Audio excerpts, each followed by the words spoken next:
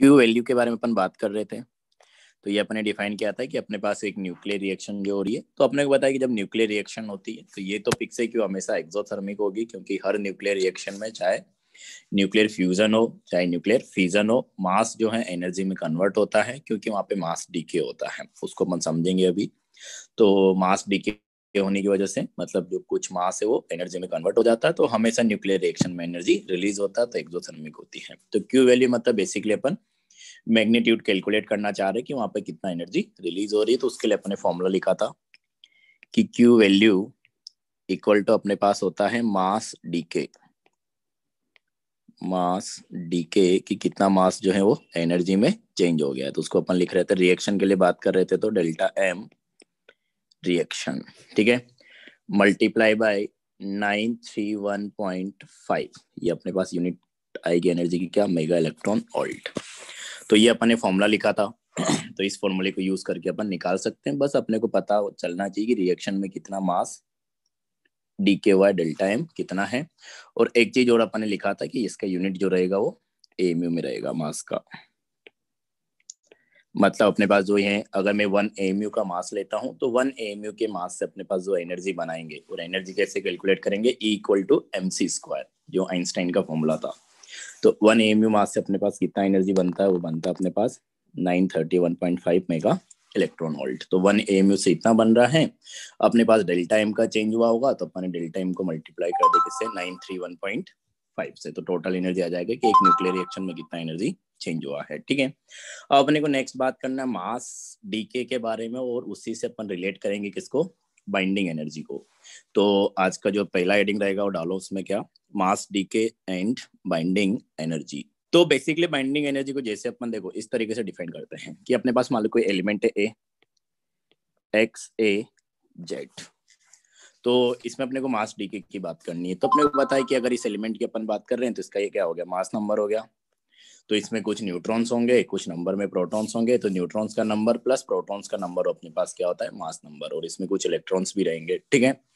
तो अपन ये बोलना चाह रहे हैं, देखो, कि कोई एलिमेंट है, जैसे अगर अपन बात कर ले किसकी? नाइट्रोजन की। तो एग्ज़ाम्पल साथ के साथ अपन डिस्कस करते चलते हैं नाइट्रोजन को एग्ज़ाम्पल लेते हुए। तो नाइट्रोजन की अगर अपन बात करें तो नाइट्रोजन अपने पास सेवन फोर्टीन इस तरीके से रिप्रेजेंट करते हैं।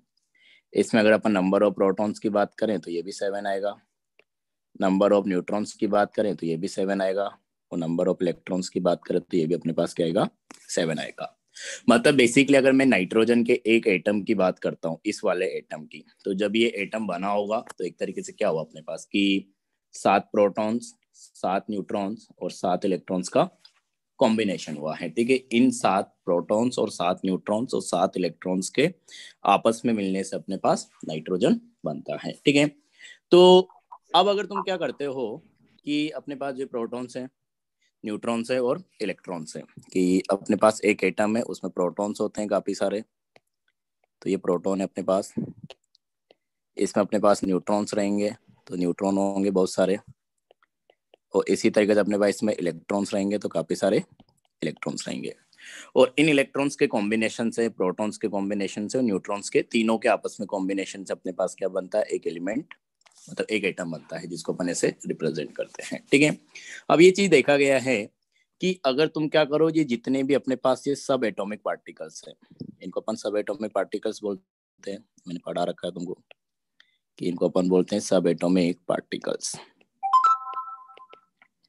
तो इन सब एटॉमिक पार्टिकल्स का अगर तुम हाँ अगर इन सब एटॉमिक पार्टिकल्स का अगर तुम क्या करते हो, जितना भी पार्टिकल्स है, जैसे इसमें क्या आते हैं अपने पास? सात प्रोटॉन्स हैं, सात न्यूट्रॉन्स हैं, सात इलेक्ट्रॉन्स हैं। इन तीनों का मतलब इन तीनों का सात प्रोटॉन्स का मास ऐड कर लो, सात न्यूट्रॉन्स का मास ऐड कर लो और सात इलेक्ट्रॉन्स का मास ऐड कर लो, और जो टोटल मास आएगा, यहाँ पे मैं बोल देता हूँ कि अपने पास आ रहा है कितना? एम वन पहले अपन ने अलग अलग ऐड किया, सात प्रोटॉन का मास प्लस सात न्यूट्रॉन्स का मास प्लस सात इलेक्ट्रॉन्स का मास। तो टोटल ऐड करके अपन निकाल लिया। तो अपने पास एम आ रहा है। वो जनरल किसी भी एटम की अगर अपन बात करें तो उसमें जितने भी प्रोटॉन्स हैं, जितने भी न्यूट्रॉन्स हैं और जितने भी इलेक्ट्रॉन्स हैं, सबके मास को क्या कर दो? ऐड कर दो। तो अपने पास मान लो कि कितना आ गया? एम वन आ गया। ठीक है? और इस एलिमेंट का जो अपने पास मास होता है एक्यूरेट वैल्यू जो भी अपन निकालते हैं, अगर मान लो कि अपने पास क्या है? एम टू कि अपने पास ये सब एटॉमिक पार्टिकल्स हैं, जो प्रोटॉन्स हैं न्यूट्रॉन्स हैं, ये सब अपने पास क्या होंगे जब आपस में कंबाइंड होंगे।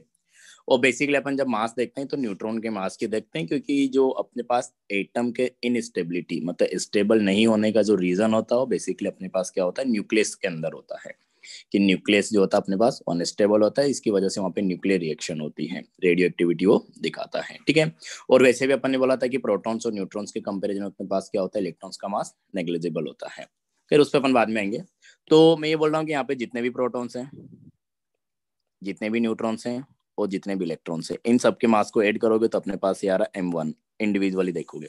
और यही चीज़ अभी एटम में प्रेजेंट है मतलब कंबाइंड फॉर्म में जब ये प्रेजेंट है कंबाइंड होगी इन्होंने क्या बना लिया? एटम बना लिया। तो जब ये मास आ रहा है, अपने पास कुछ अलग आ रहा है, जो कि अपने पास कितना आ रहा है? एम टू आ रहा है। और ये देखा गया है कि हर एलिमेंट के लिए अपने पास क्या होता है? कि जो ये एम वन है ये अपने पास एम टू से बड़ा है। मतलब वो जो सात इलेक्ट्रॉन्स थे, जैसे नाइट्रोजन में सात प्रोटॉन्स थे और चाउथ इलेक्ट्रॉन को भी इंक्लूड कर दो, जो सात इलेक्ट्रॉन है। उन सबका अगर तुम मास टोटल कर रहे हो इंडिविजुअली तो वो एम वन आ रहा है। और यही चीज़ जब आपस में कंबाइंड होकर नाइट्रोजन बना ले रहा है, और नाइट्रोजन का जब तुम एब्सोल्यूट मास देख रहे हो तो वो अपने पास एम टू है तो वो अपने पास कम आ रहा है। तो अपन ऐसा बोलते हैं कि जब अपने पास एटम का फॉर्मेशन हुआ होगा तो इन सब पार्टिकल्स का कॉम्बिनेशन हुआ होगा। और इन पार्टिकल्स के कॉम्बिनेशन अपने पास एक एटम बना तो इन पार्टिकल के कॉम्बिनेशन से जब एटम बनता है तो वहाँ पे कुछ मास जो है वो एनर्जी में कन्वर्ट हो जा रहा है। इसी वजह से अपने पास ये मास डिफरेंस आ रहा है। मतलब जो एटम बनने का प्रोसेस होता है ना, वो क्या होता है? एक तरीके से मैं बोल सकता हूँ कि एक्सोथर्मिक है। तो इस तरीके से अपन ने आइडिया लगाया कि अगर मैं इंडिविजुअली सबके मास को ऐड कर रहा हूँ तो वो अलग आ रहा है। और जब वो सारे आपस में कंबाइंड होकर एटम बना ले रहे हैं तो मास अलग आ रहा है। मतलब अपने पास क्या है कि जब अपने पास वो कंबाइंड हुए होंगे तो कुछ मास डीके हुआ होगा। मास डीके मतलब उसको बोलते हैं कि मास जो है एनर्जी में क्या हो गया होगा? कन्वर्ट हो गया होगा। तो इसी चीज़ को अपन यहाँ पे लिख भी लेते हैं। सर ये सब एटम्स में होता है। सब एटम में होता है। सो इज़ नेग्लिजिबल होता होगा वरना तो वो मोल्स वोल्स का कॉन्सेप्ट काम ही नहीं करता। देयर इज़ मास डीके वो वाला कंसेप्ट उस पर अपन बात कर लेंगे। Mass there is mass defect या decay during binding of during binding of sub atomic particles binding of sub atomic particles particles to form atom to form atom कि जब सब एटॉमिक पार्टिकल्स एटम बनाने के लिए आपस में कंबाइंड हो रहे हैं तो वहाँ पे कुछ मास डिफरेंस आ रहा है। तो मतलब वहाँ पे मास किसमें कन्वर्ट हो गया होगा? एनर्जी में कन्वर्ट हो गया होगा। इसी चीज़ को अपन आगे कंटिन्यू करते हैं कि according to according to according to Einstein mass energy relationship mass energy is equal to relationship हाँ equal to M C square ठीक है? तो according to Einstein mass energy relationship if there is if there is there is a mass decay, there is a mass decay. या mass defect इसको भी अपन mass defect भी बोल सकते हैं। Mass defect then there must be there must be there must be some energy release there must be some energy release. There must be some energy release. So So during during binding of during binding of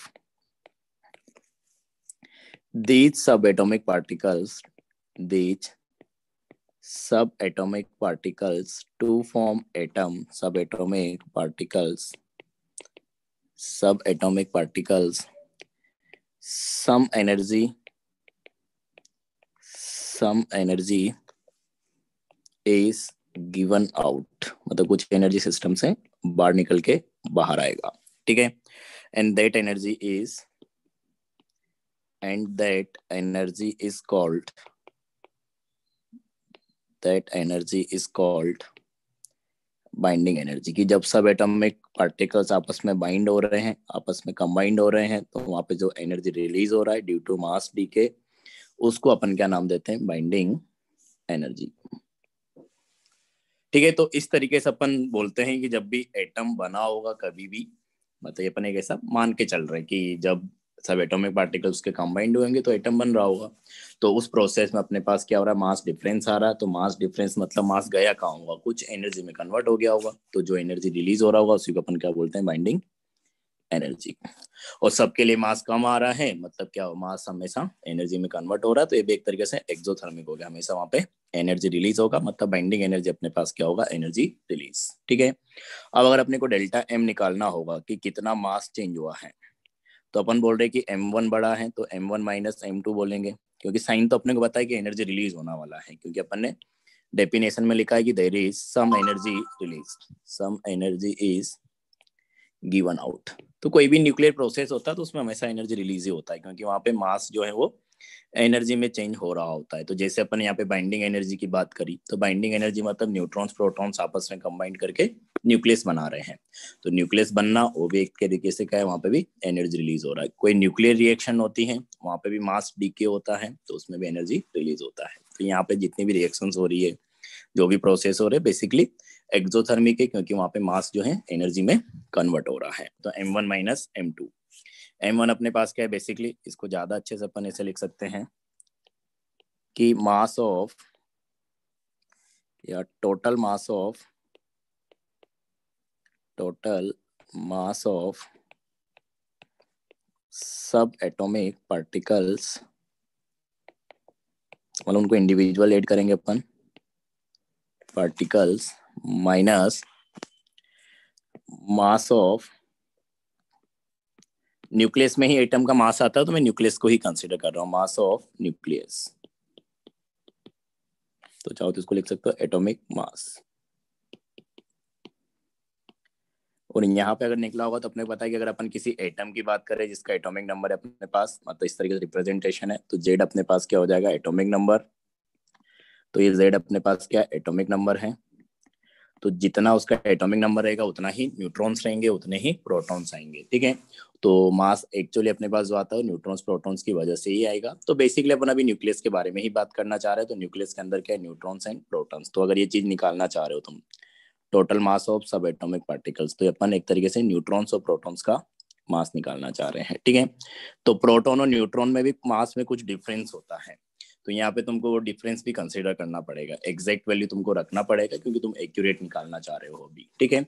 तो अपन देखो इसको ऐसा लिखेंगे कि total mass of sub atomic particle जिसको अपन ऐसा निकालेंगे कि नंबर ऑफ़ प्रोटॉन्स कितने हो जाएँगे? जेड जो भी एटॉमिक नंबर है तो Z into mass of protons plus neutrons भी कितने रहेंगे? जेड के बराबर ही रहेंगे तो Z into mass of neutrons तो सब एटॉमिक पार्टिकल्स का मास आ गया जो न्यूक्लियस के अंदर प्रेजेंट है माइनस मास ऑफ़ न्यूक्लियाई तो ये तो देना पड़ेगा कि एक्यूरेट कितना मास आ रहा है। तो ये तुमको गिवन होगा। और ये तुम एटम के हिसाब से क्या कर सकते हो? कैलकुलेट कर सकते हो। ये वाली चीज़। वो तुमको मास ऑफ़ प्रोटोन दे देगा और मास ऑफ़ न्यूट्रॉन दे देगा एक्यूरेट मास तो वहाँ से तुम निकाल सकते हो कि कितना मास डी के वहाँ पे हुआ होगा। तो ये है। और इसी मास डी के से अपने पास क्या आ रहा है? एनर्जी आ रहा है। तो उसी एनर्जी को अपन क्या बोल रहे हैं? बाइंडिंग एनर्जी तो बाइंडिंग एनर्जी अपन क्या लिखेंगे कि binding energy B E equal to जितना भी मास डी के हुआ delta M into nine thirty one point five mega electron volt मतलब यूनिट अपने पास क्या हो जाएगा? Mega electron volt sir molar concept कैसे काम करता है तब भी? हाँ आएँगे उस पर रुक जाओ। ये क्लियर है सब लोगों को? वो जो माइनस वाला की है एक बार बता दीजिए माइनस उसमें से उसमें क्यों किए अच्छा माइनस वाला क्या किए अरे अपने मन क्या बोला था कि जो उसके अंदर पार्टिकल्स है उनका टोटल अगर अपन अलग से मास कैलकुलेट करते हैं वो एम टू अपने पास क्या है कि एटम जब बन गया उसका तब मास क्या है? यही बोला था ना अपन ने? हाँ हाँ। तो एम वन में अभी न्यूक्लियस को ले रहा हूँ, क्योंकि अपने है न्यूक्लियस के अंदर न्यूट्रॉन्स और प्रोटॉन्स है, और न्यूट्रॉन्स और प्रोटॉन्स कंपेरिजन में इलेक्ट्रॉन का मास तो बहुत कम होता है। और जब एटम का अपन ने मास कैलकुलेट किया था, याद करो आईटीसी में, तब भी अपन ने क्या किया था न्यूट्रॉन्स और प्रोटॉन्स का मास ही अपन कंसिडर कर रहे थे। और बेसिकली अभी अपन न्यूक्लियर केमिस्ट्री पढ़ रहे तो न्यूक्लियस के अंदर के प्रोसेस को अपन समझना चाहते हैं। तो न्यूक्लियस का ही मास अपन एक तरीके से देखना चाह रहे हैं न्यूक्लियस में कितना मास डिफेक्ट आ रहा है।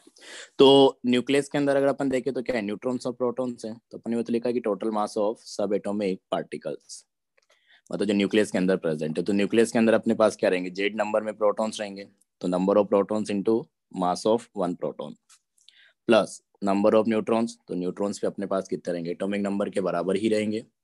अच्छा न्यूट्रॉन्स अपने पास ये क्यों आएगा? उल्टा नहीं लिख दिया। न्यूट्रॉन तो अपने पास ए माइनस जेड आएँगे ना। अरे समझ में आया न्यूट्रॉन्स तो अपन ऐसे निकालते ना।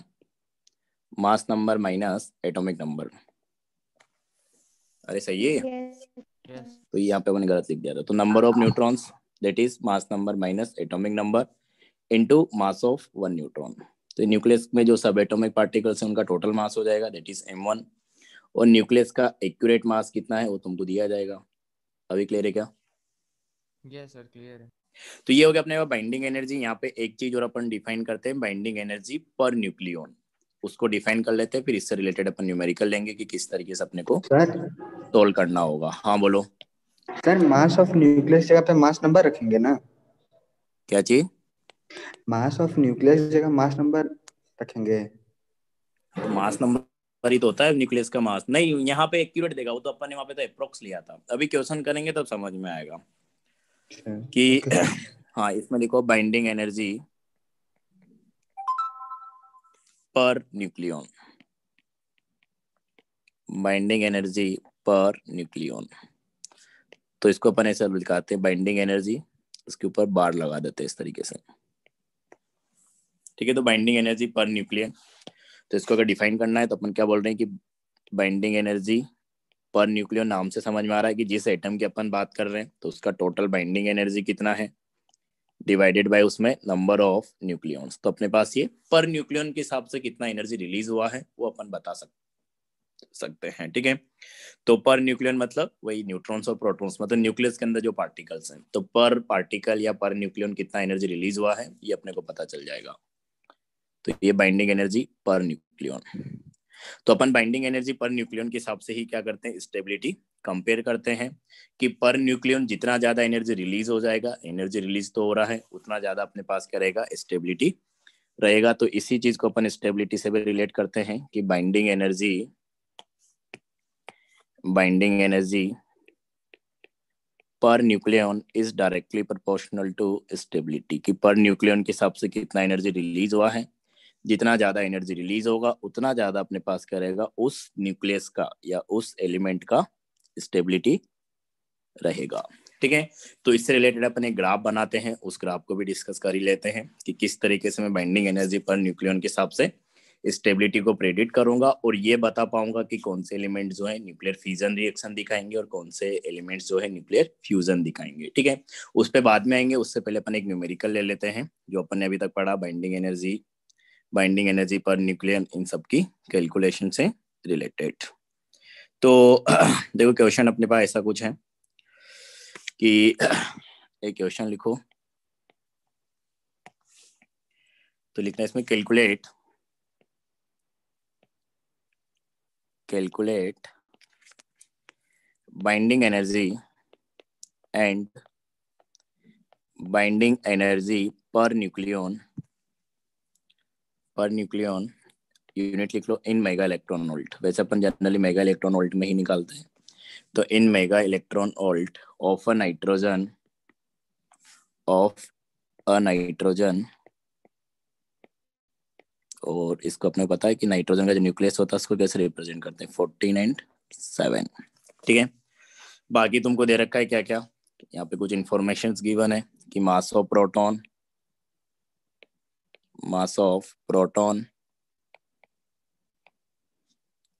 तो प्रोटॉन का मास दे रखा है इसने accurate one point zero zero seven eight three unified mass unified mass पता होगा? एएमयू को ही अपन बोलते हैं। इसी तरीके से तुमको गिवन है मास ऑफ़ न्यूट्रॉन न्यूट्रॉन का मास ये तुमको गिवन है कितना? One point zero zero eight six seven M U या यूनिफाइड मास यू ठीक है? और न्यूट्रॉन का तुमको मास दे सॉरी न्यूक्लियस का मास दे रखा है नाइट्रोजन के लिए कि mass of nitrogen nucleus nitrogen nucleus तो नाइट्रोजन के न्यूक्लियस का मास अपने को दे रखा है कितना? Fourteen point zero zero three zero seven unified mass तो वो एम ही हो गया, ठीक है? कैलकुलेट करो कितना आएगा। आसान है। पहले मास डिफेक्ट निकाल लो डेल्टा एम और डेल्टा एम निकाल के उसको मल्टीप्लाई कर देना अपने को। Nine three one point five mega electron volt से, ठीक है? तो पहले मास डिफेक्ट निकालो डेल्टा एम कि अगर अपन मास डिफेक्ट निकालेंगे तो मास डिफेक्ट जो है अपने पास मास डिफेक्ट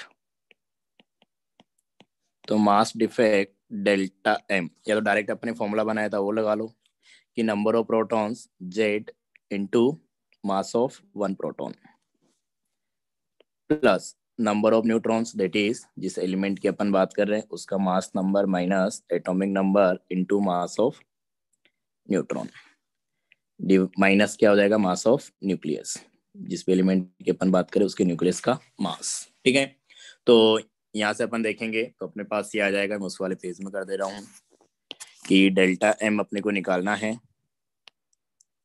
तो delta M equal to number of protons कितने हैं? Seven into mass of one proton तो वन प्रोटॉन का मास अपने पास कितना था? One point zero zero seven eight three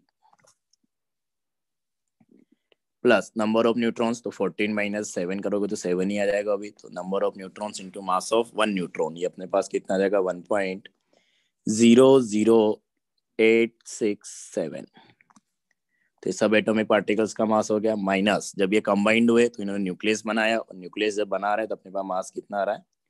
Fourteen point zero zero three zero seven तो सब कुछ एम में लिया है मास तो कैलकुलेट करने पे भी एम में ही आएगा कैलकुलेट करो कितना आ रहा है zero point one zero six five five zero point one zero six five five one zero six five five मेरे पास तो कुछ और लिखा हुआ है यार। सही कैलकुलेट किया point one one two four point one one two four three आ रहा है sir point one one two four three M U या यू ठीक है क्या? तो जब अपने पास नाइट्रोजन का न्यूक्लियस बना हुआ तो इतना मास क्या हुआ है? एनर्जी में कन्वर्ट हुआ है। तो यहाँ से अपने को बाइंडिंग एनर्जी निकालनी है। तो बाइंडिंग एनर्जी अपने को पता है क्या होता है कि binding energy equal to mass defect delta M into 931.5 unit अपने पास रहेगा क्या? मेगा इलेक्ट्रॉन वोल्ट तो इसको कैलकुलेट करो आप। 11243 इंटू 931.5 कितना आएगा ये?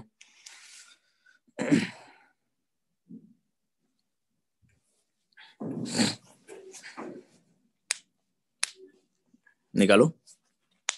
104.728 ऐसा करके आ रहा है। 104.728 तो उसको 73 लिख दो। Mega electron volt. ठीक है तो बाइंडिंग एनर्जी हो गया।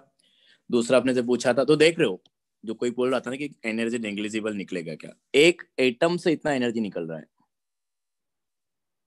तो तुम एक एटम तो क्या होता है? बहुत छोटा सा होता है। अगर तुम एक के या दो के भी ले लोगे तो उससे जो एनर्जी निकलेगी वो बहुत ज़्यादा निकलेगी। जूल में भी निकालोगे तुम, ठीक है? तो ये बाइंडिंग एनर्जी हो गया। और बाइंडिंग एनर्जी पर न्यूक्लियन अपन से पूछा है तो बाइंडिंग एनर्जी पर न्यूक्लियन अपने पास क्या होता है? Binding energy divided by number of nucleons तो नंबर ऑफ़ न्यूक्लियंस बेसिकली क्या होता है? मास नंबर ही होता है। तो अपने पास बाइंडिंग एनर्जी आ रहा है कितना? One zero four point seventy three divided by number of nucleon fourteen ये कितना आ जाएगा अपने पास? निकालो।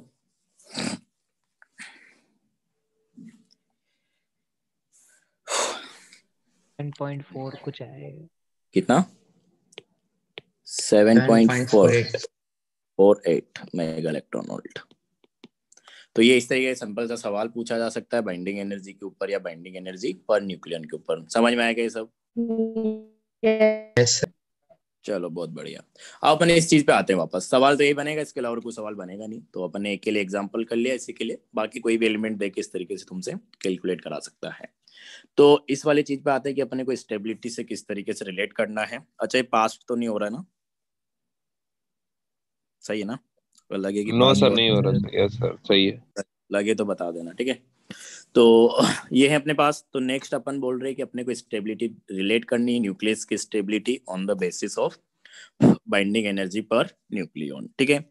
तो अपन बोल रहे हैं कि बाइंडिंग एनर्जी पर न्यूक्लियन जैसे अपने लेट किया कि डायरेक्टली प्रोपोर्शनल टू स्टेबिलिटी इसको समझ सकते हो कि पर न्यूक्लियन के हिसाब से जितना ज़्यादा एनर्जी रिलीज़ होगा, उतना ज़्यादा अपने पास क्या रहेगा? स्टेबिलिटी रहेगा, क्योंकि उतना ज़्यादा एनर्जी अपने पास रिलीज़ हुआ है, ठीक है? तो यहाँ पे अपन एक ग्राफ बनाएँगे। उस ग्राफ को अपन ये प्रेडिक्ट करने के लिए यूज़ कर सकते हैं कि किस टाइप का रिएक्शन हो रहा होगा और कौन सा न्यूक्लियस है जो सबसे ज़्यादा स्टेबल होगा। तो देखो कैसे आएगा अपने पास। ये वही क्या होगा कि हर एलिमेंट के लिए अपन ने क्या कर रखा है? बाइंडिंग एनर्जी पर न्यूक्लियन निकाल रखा है और उसको अपने ग्राफिकली रिप्रेजेंट कर रखा है। तो इस तरीके कुछ ग्राफ आता है अपने पास। तो फिर मैं ग्राफ बना देता हूँ। तो ये देखो ऐसा कुछ आएगा।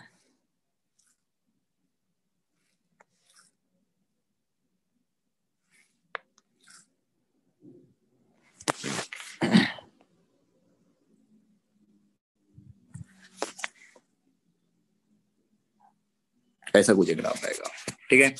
तो ये यहाँ पे जो सबसे ज़्यादा अच्छा ये लिख लेते हैं, यहाँ पे अपने पास क्या है? इधर अपने ले रखा बाइंडिंग एनर्जी पर न्यूक्लियन और यहाँ पे अपने ले रखा है क्या उसका? मास नंबर या फिर एटॉमिक नंबर जो भी बोलना चाहो। ठीक है? क्योंकि मास नंबर बढ़ेगा तो एटॉमिक नंबर भी बढ़ेगा ही सही। और ये जो अपने पास सबसे टॉप मोस्ट पे जो एलिमेंट होता है, ये अपने पास होता है क्या? आयरन आयरन के लिए जो होता है binding energy per nucleon maximum होता है, इसका भी कौन सा? आइसोटोप 56 एटॉमिक नंबर 26 तो इसके लिए अपने पास क्या होता है? बाइंडिंग एनर्जी पर न्यूक्लियन सबसे ज़्यादा होता है हाईएस्ट वैल्यू होती है। और उसकी वैल्यू याद रखने की ज़रूरत नहीं, बस मैं लिख दे रहा हूँ वैसे तो इसके लिए जो बाइंडिंग एनर्जी पर न्यूक्लियन होता है, अपने पास होता है eight point seven eight mega electron volt तो ये हाईएस्ट वैल्यू है किसी भी एलिमेंट के लिए। मतलब अगर आपसे पूछे कि सबसे स्टेबल न्यूक्लियस कौन सा है तो आयरन का न्यूक्लियस। क्योंकि जब आयरन का न्यूक्लियस बना होगा या आयरन का एटम बना होगा, तब सबसे ज़्यादा एनर्जी रिलीज़ हुआ है वहाँ पे, ठीक है? तो जो मैं बोल रहा था कि अपन इसके बेसिस पे ये प्रेडिक्ट कर सकते हैं तो बेसिकली देखो अपन ऐसा बोलते हैं कि अपने पास जो है कोई भी न्यूक्लियस है जो कि अनस्टेबल है, वो क्या करना चाहेगा? मैक्सिमम स्टेबिलिटी गेन करना चाहेगा। तो आयरन के इधर जो एलिमेंट्स हैं मतलब आयरन के इधर जो आएगा वही ट्वेंटी सिक्स के बाद उनके जो अपने पास आइसोटॉप्स रहेंगे, जो कि अपने पास के अनस्टेबल हैं तो वो अनस्टेबल आइसोटॉप्स आयरन की तरफ़ आना चाहते हैं। स्टेबिलिटी बढ़ाना चाहते हैं। तो आयरन की तरफ़ अगर आना चाहते हैं तो अपने को पता है कि आयरन से ज़्यादा एटॉमिक नंबर है उसका तो मतलब आयरन से हेवी है। आयरन से हेवी है तो क्या होगा? ब्रेक होके वो आयरन में कन्वर्ट होना चाहेगा। तो इधर क्या होंगे? जो भी न्यूक्लियस इधर की साइड आएँगे, इसके राइट साइड में। वो इससे हेवी है ओबियस सी बात है, क्योंकि इधर जाने पे अपने पास क्या हो रहा है एटॉमिक नंबर जो है, या मास नंबर जो ये बढ़ रहा है। तो हेवी मतलब उसका एटॉमिक नंबर ज़्यादा है तो एटॉमिक नंबर ज़्यादा है तो एटॉमिक मास भी ज़्यादा रहेगा तो उस हिसाब से अपन हेवी बोल रहे हैं, ठीक है? तो जो आयरन से राइट में पड़ेंगे, वो न्यूक्लियस उनके आयरन के न्यूक्लियस से बाहर ही रहेंगे। तो इधर वाले एलिमेंट्स में जो राइट साइड में है इन सब न्यूक्लियस में जितने भी रेडियो एक्टिव एलिमेंट्स है वो एक तरीके से स्टेबिलिटी गेन करने के लिए ही क्या दिखा रहे हैं? रेडियो एक्टिविटी दिखा रहे हैं। मतलब वो आयरन की तरफ़ आना चाह रहे हैं अपन ऐसा बोल सकते हैं ठीक है? तो हेवी आइसोटोप जो है स्मॉल में कन्वर्ट होना चाह रहा है मतलब ब्रेक होगा ब्रेक होगा अपने पास उसको क्या बोल रहे थे अपन? न्यूक्लियर फ्यूजन या फ्यूजन कि हेवी आइसोटोप से स्मॉल आइसोटोप बनता है। क्या होगा? न्यूक्लियर फ्यूजन तो हेवी आइसोटोप्स जो थे वो आयरन में कन्वर्ट होना चाहते हैं मतलब डिसोसिएट होके स्मॉल आइसोटोप्स बनाएँगे मतलब ये न्यूक्लियर फ्यूजन दिखाते हैं। और इधर जो रहेंगे एलिमेंट्स तो एग्जांपल भी अपन ने देखो इसी तरीके का लिया था कि अपन ने जो एग्जांपल लिया था यूरेनियम का लिया था। और यूरेनियम का एटॉमिक नंबर देखोगे तो अपने पास 92 होता है तो तुम्हारे पास यहाँ पे कहीं पड़ेगा। तो यूरेनियम के काफ़ी सारे आइसोटोप्स होते हैं जो अनस्टेबल होते हैं तो अपन ने एग्ज़ाम्पल शायद यूरेनियम 235 लिया था। तो यूरेनियम जो है वो ब्रेक होके आयरन की तरफ़ जाना चाह रहा है तो वो क्या होगा ब्रेक होगा और न्यूक्लियर फ्यूजन रिएक्शन दिखाएगा। तो इस तरीके से अपन प्रेडिक्ट कर सकते हैं। और जो एलिमेंट्स इसके लेफ़्ट में प्रेजेंट रहेंगे। लेकिन मैं अनस्टेबल न्यूक्लियस की बात कर रहा हूँ क्योंकि अगर स्टेबल है तो, तो रेडियो एक्टिविटी दिखाएगा ही नहीं। तो अनस्टेबल न्यूक्लियस अपने पास तो वो स्टेबिलिटी बढ़ाना चाह रहा है तो अपन ऐसा बोलते कि वो भी आयरन की तरफ़ जाना चाह रहा है। तो अगर आयरन की तरफ़ जाना चाह रहा है तो उनको क्या होना पड़ेगा? कंबाइंड होना पड़ेगा। उनका एटॉमिक मास कम है स्मॉल है आयरन के रेस्पेक्ट में तो कंबाइंड होंगे, वो कंबाइंड होंगे तो अपने पास उनके लिए जो रिएक्शन आएगी अपने पास न्यूक्लियर सीज़न हो गया तो न्यूक्लियर फ्यूजन रिएक्शन हो दिखाते हैं जनरली तो स्मॉल न्यूक्लियस जो होते हैं आपस में कंबाइंड होते हैं और हेवियर की तरफ़ जाते हैं हेवियर डिसोसिएट होते हैं और स्मॉल बनाते हैं। तो उसके पीछे का रीजन ये है कि न्यूक्लियर फ्यूजन और न्यूक्लियर फ्यूजन दो टाइप की रिएक्शंस होती हैं, ठीक है? तो बाइंडिंग एनर्जी में मैं केमिस्ट्री में तो इतना ही डिस्कस कर रहा हूँ। इसमें और भी चीज़ें आती है वो सब तुमको अच्छे से पढ़ाया जाएगा फिजिक्स में ठीक है? तो ये अपन ने जितना डिस्कस किया इसमें कोई दिक्कत हो तो बताओ। सर अभी आप बताएँगे क्या कि मोलर कॉन्सेप्ट और इसमें क्या रिलेशन है? हाँ हाँ बिल्कुल बताएँगे। पहले अपन इसको तो कंप्लीट कर लें। यस सर ये तो समझ में आ गया। तो ये हो गया अपने पास binding energy binding energy per nucleon mass defect mass DK इन सब के बारे में ठीक है? एक दो न्यूमेरिकल्स और करते हैं। क्यू वैल्यू से रिलेटेड उसके क्वेश्चन अपन ने नहीं किए थे। तो इसमें क्वेश्चन लिखना अपने पास कि calculate calculate value of calculate value of Q value. तो क्यू वैल्यू निकालना मतलब तो चाहो देख लो find Q value for following reaction following reaction तो एक रिएक्शन तुमको गिवन है, इसका क्यू वैल्यू तुमको निकालना है, ठीक है? तो रिएक्शन क्या है तुम्हारे पास? रिएक्शन ऐसा कुछ है कि अपने पास जो है लिथियम है सेवन थ्री इसके ऊपर अपन ने प्रोटॉन्स का बम्बार्टमेंट कराया तो मतलब प्रोटॉन्स के साथ कंबाइंड हुआ तो इसने बनाया अपने पास हीलियम न्यूक्लियर रिएक्शन होगी। तो इसमें अपने को और क्या क्या दे रखा है? इस रिएक्शन के लिए तुमको क्यू वैल्यू निकालना है। तो if mass of lithium nucleus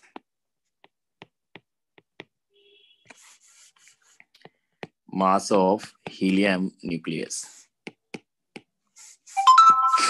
Mass of helium nucleus. की हीलियम के न्यूक्लियस का मास और अपने पास एक प्रोटॉन आ रहा है तो मास ऑफ़ प्रोटॉन तो वैल्यूज़ अभी मेरे पास लिखी भी नहीं है, मेरे को याद भी नहीं है तो इसमें ले लो तुम एक्स वाई एंड जेड इसी फॉर्म में निकाल दो, किसका एक्स ए में अपन ने ले लिया, इसका वाई ए में अपन ने ले लिया, और इसका अपन ने जेड एम ले लिया, ठीक है?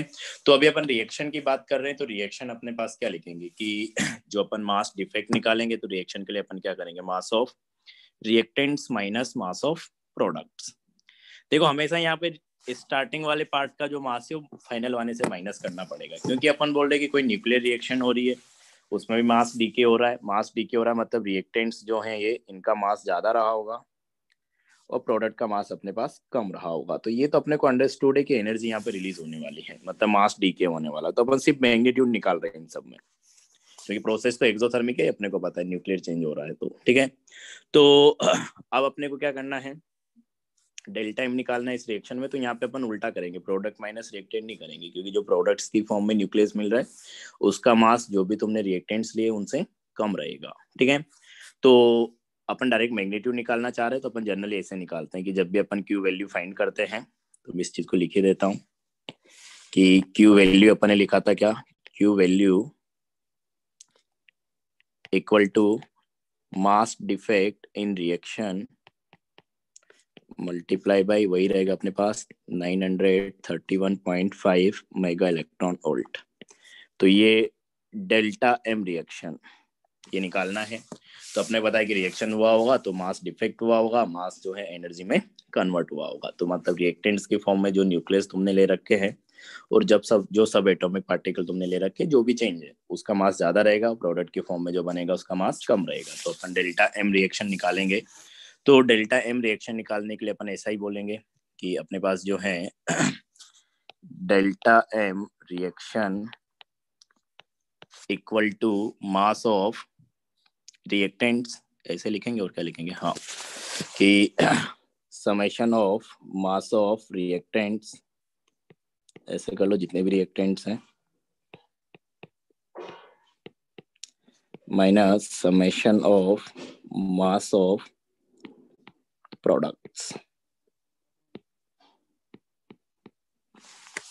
तो यहाँ से अपने को निकालना है इसको यूज़ करके। डेल्टा एम इस तरीके से, ठीक है? तो यहाँ पे अगर अपन देखेंगे तो अपने पास प्रोडक्ट में क्या क्या है? सॉरी रिएक्टेंट में अपने पास क्या क्या है? रिएक्टेंट अपने पास लिथियम और प्रोटोन था। लिथियम भी वन है प्रोटोन भी एक है। लिथियम का मास अपने को दे रखा है एक्स प्रोटोन का मास दे रखा है जेड तो रिएक्टेंट्स का मास कितना हो जाएगा? एक्स प्लस जेड प्रोटॉन्स की अगर अपन बात करें सॉरी प्रोडक्ट्स की अगर अपन बात करें तो प्रोडक्ट्स में अपने पास क्या है? हीलियम का न्यूक्लियस और हीलियम के न्यूक्लियस का मास दे रखा है कितना? वाई और उसका नंबर कितना है? दो. तो अपने पास क्या आ जाएगा? माइनस टू वाई तो ये मास चेंज हो गया। अपने को निकालना है क्या क्यू वैल्यू तो अपन क्या करेंगे कि Q value equal to mass defect that is x plus z minus 2y into 931.5 mega electron volt तो इस तरीके से तुमको जब भी एक रिएक्शन आएगी तो पहले इस फॉर्मूले से मास चेंज निकालना है। अगर कभी भूल जाओ तो ये कंसेप्ट ज़्यादा बढ़िया है कि अपने को बताए कि कोई भी न्यूक्लियर चेंज हो रहा है, चाहे एटम के बनने की बात करें, चाहे न्यूक्लियर रिएक्शन की बात करें तो वहाँ पे मास डिफेक्ट हो रहा है एनर्जी चेंज हो रही है। मतलब प्रोसेस अपने पास एक्सोथर्मिक है एनर्जी रिलीज़ हो रहा है। तो अगर अपने को एनर्जी रिलीज़ का मैग्नीट्यूड निकालना है मतलब क्यू वैल्यू अपन पॉजिटिव लिख रहे हैं मतलब वो रिलीज़ की बात हो रही है, ठीक है? तो डेल्टा एम अपने को निकालना है तो अपने बताया कि जो प्रोडक्ट्स बनेंगे, उनका मास कम रहेगा, क्योंकि मास डीके हो गया, वहाँ पे मास जो है एनर्जी में कन्वर्ट हो गया। और जो रिएक्टेंट है, उनका मास ज़्यादा रहेगा तो अपने को चेंज सिर्फ़ निकालना है, क्योंकि अपन मैग्नीट्यूड की बात करना चाह रहे हैं। साइन तो अपने को कन्फर्म है कि नेगेटिव ही है। तो रिएक्टेंट माइनस प्रोडक्ट करेंगे, क्योंकि रिएक्टेंट्स का ज़्यादा रहा होगा प्रोडक्ट का कम रहा होगा, इसीलिए कुछ मास एनर्जी में कन्वर्ट हो गया। तो ऐसा सोच के भी ला सकते हो, ठीक है? तो ये हो गया अपने पास क्यू वैल्यू नेक्स्ट अगर अपन बात करें, इसी तरीके का एक और क्वेश्चन अपन लेते हैं, देखो। क्यू वैल्यू ही निकालने का। तो क्वेश्चन इसमें आसान बनते हैं, बस ध्यान रखना है कहाँ पे क्या करना है। एक क्वेश्चन तुमसे पूछा जा सकता है इस तरीके से, देखो। कि find Q value for following for following reaction अच्छा ऊपर वाला समझ में तो आया ना ये कि अपन ऐसा क्यों कर रहे हैं? इसमें दिक्कत तो नहीं है ना किसी को? हाँ। तो फाइंड क्यू वैल्यू जहाँ पे भी दिक्कत है तो तुरंत बोल देना ठीक है? तो ये है अपने पास कि two H one two H one यहाँ से अपने पास बना क्या? हीलियम। Four two. ठीक है? अब अपने को अब की बात दे रखा है क्या? बाइंडिंग एनर्जी पर न्यूक्लियन की बाइंडिंग एनर्जी पर nucleon for helium and hydrogen तो हाइड्रोजन एक ही टाइप का है तो उसका डायरेक्ट हाइड्रोजन लिख दिया are five mega electron volt and and twenty mega electron volt. तो ये अपने को गिवन है। बाइंडिंग एनर्जी दे रखा है। ठीक है? अब अपने को, ठीक। निकालना क्या है? क्यू वैल्यू अब देखो बाइंडिंग एनर्जी के हिसाब से अपन बात कर रहे हैं। तो इसमें जो फॉर्मूला अपने पास बनेगा, देखो, उसको सोचने की कोशिश करो थोड़ा। कि अगर अपन बात करें तो अपने पास जो है कि एक न्यूक्लियर रिएक्शन है तो उसमें अपन वैसे पेरेंट और डॉटर न्यूक्लियर की फॉर्म में लिखते हैं, लेकिन अपने को इजीली समझ में आता है रिएक्टेंट्स और प्रोडक्ट्स है तो मैं उसी हिसाब से समझा देता हूँ कि अपने पास रिएक्टेंट न्यूक्लियस है, जो भी रिएक्टेंट में है, और अपने पास ये प्रोडक्ट है। तो ये एक न्यूक्लियर चेंज हुआ तो अपने को पता है कि अपने पास क्या हुआ होगा। एनर्जी रिलीज़ हुआ है यहाँ पे, ठीक है? एनर्जी जो है ये रिलीज़ हुआ है। तो अगर एनर्जी रिलीज़ हुआ है तो अपन क्या बोल सकते हैं कि जो रिएक्टेंट्स हैं, इनकी एनर्जी ज़्यादा रही होगी। मतलब स्टेबिलिटी वाइज अपन बात करते हैं कि इनकी स्टेबिलिटी क्या रही होगी, कम रही होगी। लेस स्टेबल ये प्रोडक्ट है तो इसकी स्टेबिलिटी अपन क्या रहेगी मोर स्टेबल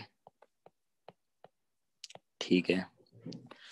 अब अगर अपने पास ये मोर स्टेबल है तो इसका जो बाइंडिंग एनर्जी पर न्यूक्लियन वो ज़्यादा रहा होगा।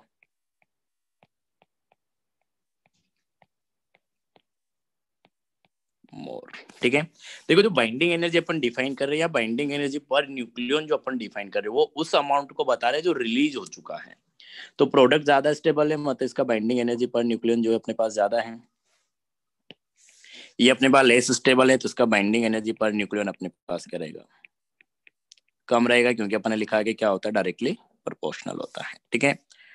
अब अपने को निकालना है कि अपने पास जो है कितना नेट चेंज हुआ है एनर्जी में? तो अपन तो मैग्नीट्यूड निकालना चाहते हैं सिर्फ़। तो अपने पास क्या हो? क्योंकि अपने को पता है कि रिलीज़ तो हुआ है। तो ज़्यादा में से ही तो अपन क्या करेंगे? कम माइनस करेंगे। तो जब अपने को बाइंडिंग एनर्जी दिया होगा या बाइंडिंग एनर्जी पर न्यूक्लियन दिया होगा तो प्रोडक्ट्स ज़्यादा स्टेबल होते हैं तो उनका बाइंडिंग एनर्जी पर न्यूक्लियन ज़्यादा रहेगा। रिएक्टेंट्स अपने पास कम स्टेबल रहेगा तो उसका बाइंडिंग एनर्जी पर न्यूक्लियन कम रहेगा, ठीक है? तो अपन तो सिर्फ़ जैसे मैंने बोला कि अपने को पता है कि एनर्जी तो रिलीज़ हो रहा तो अपन सिर्फ़ मैग्नीट्यूड निकालना चाह रहे हैं। तो ज़्यादा में से कम माइनस करेंगे तो जब भी अपने को क्यू वैल्यू निकालना होगा, और अपने को दिया होगा क्या? बाइंडिंग एनर्जी पर न्यूक्लियन तो अपन ऐसा निकालेंगे binding energy of products minus binding energy of reactants तो ये फॉर्मूला अपन लगाएँगे, जब अपने को बाइंडिंग एनर्जी दिया होगा, तब क्यू वैल्यू निकालने के लिए।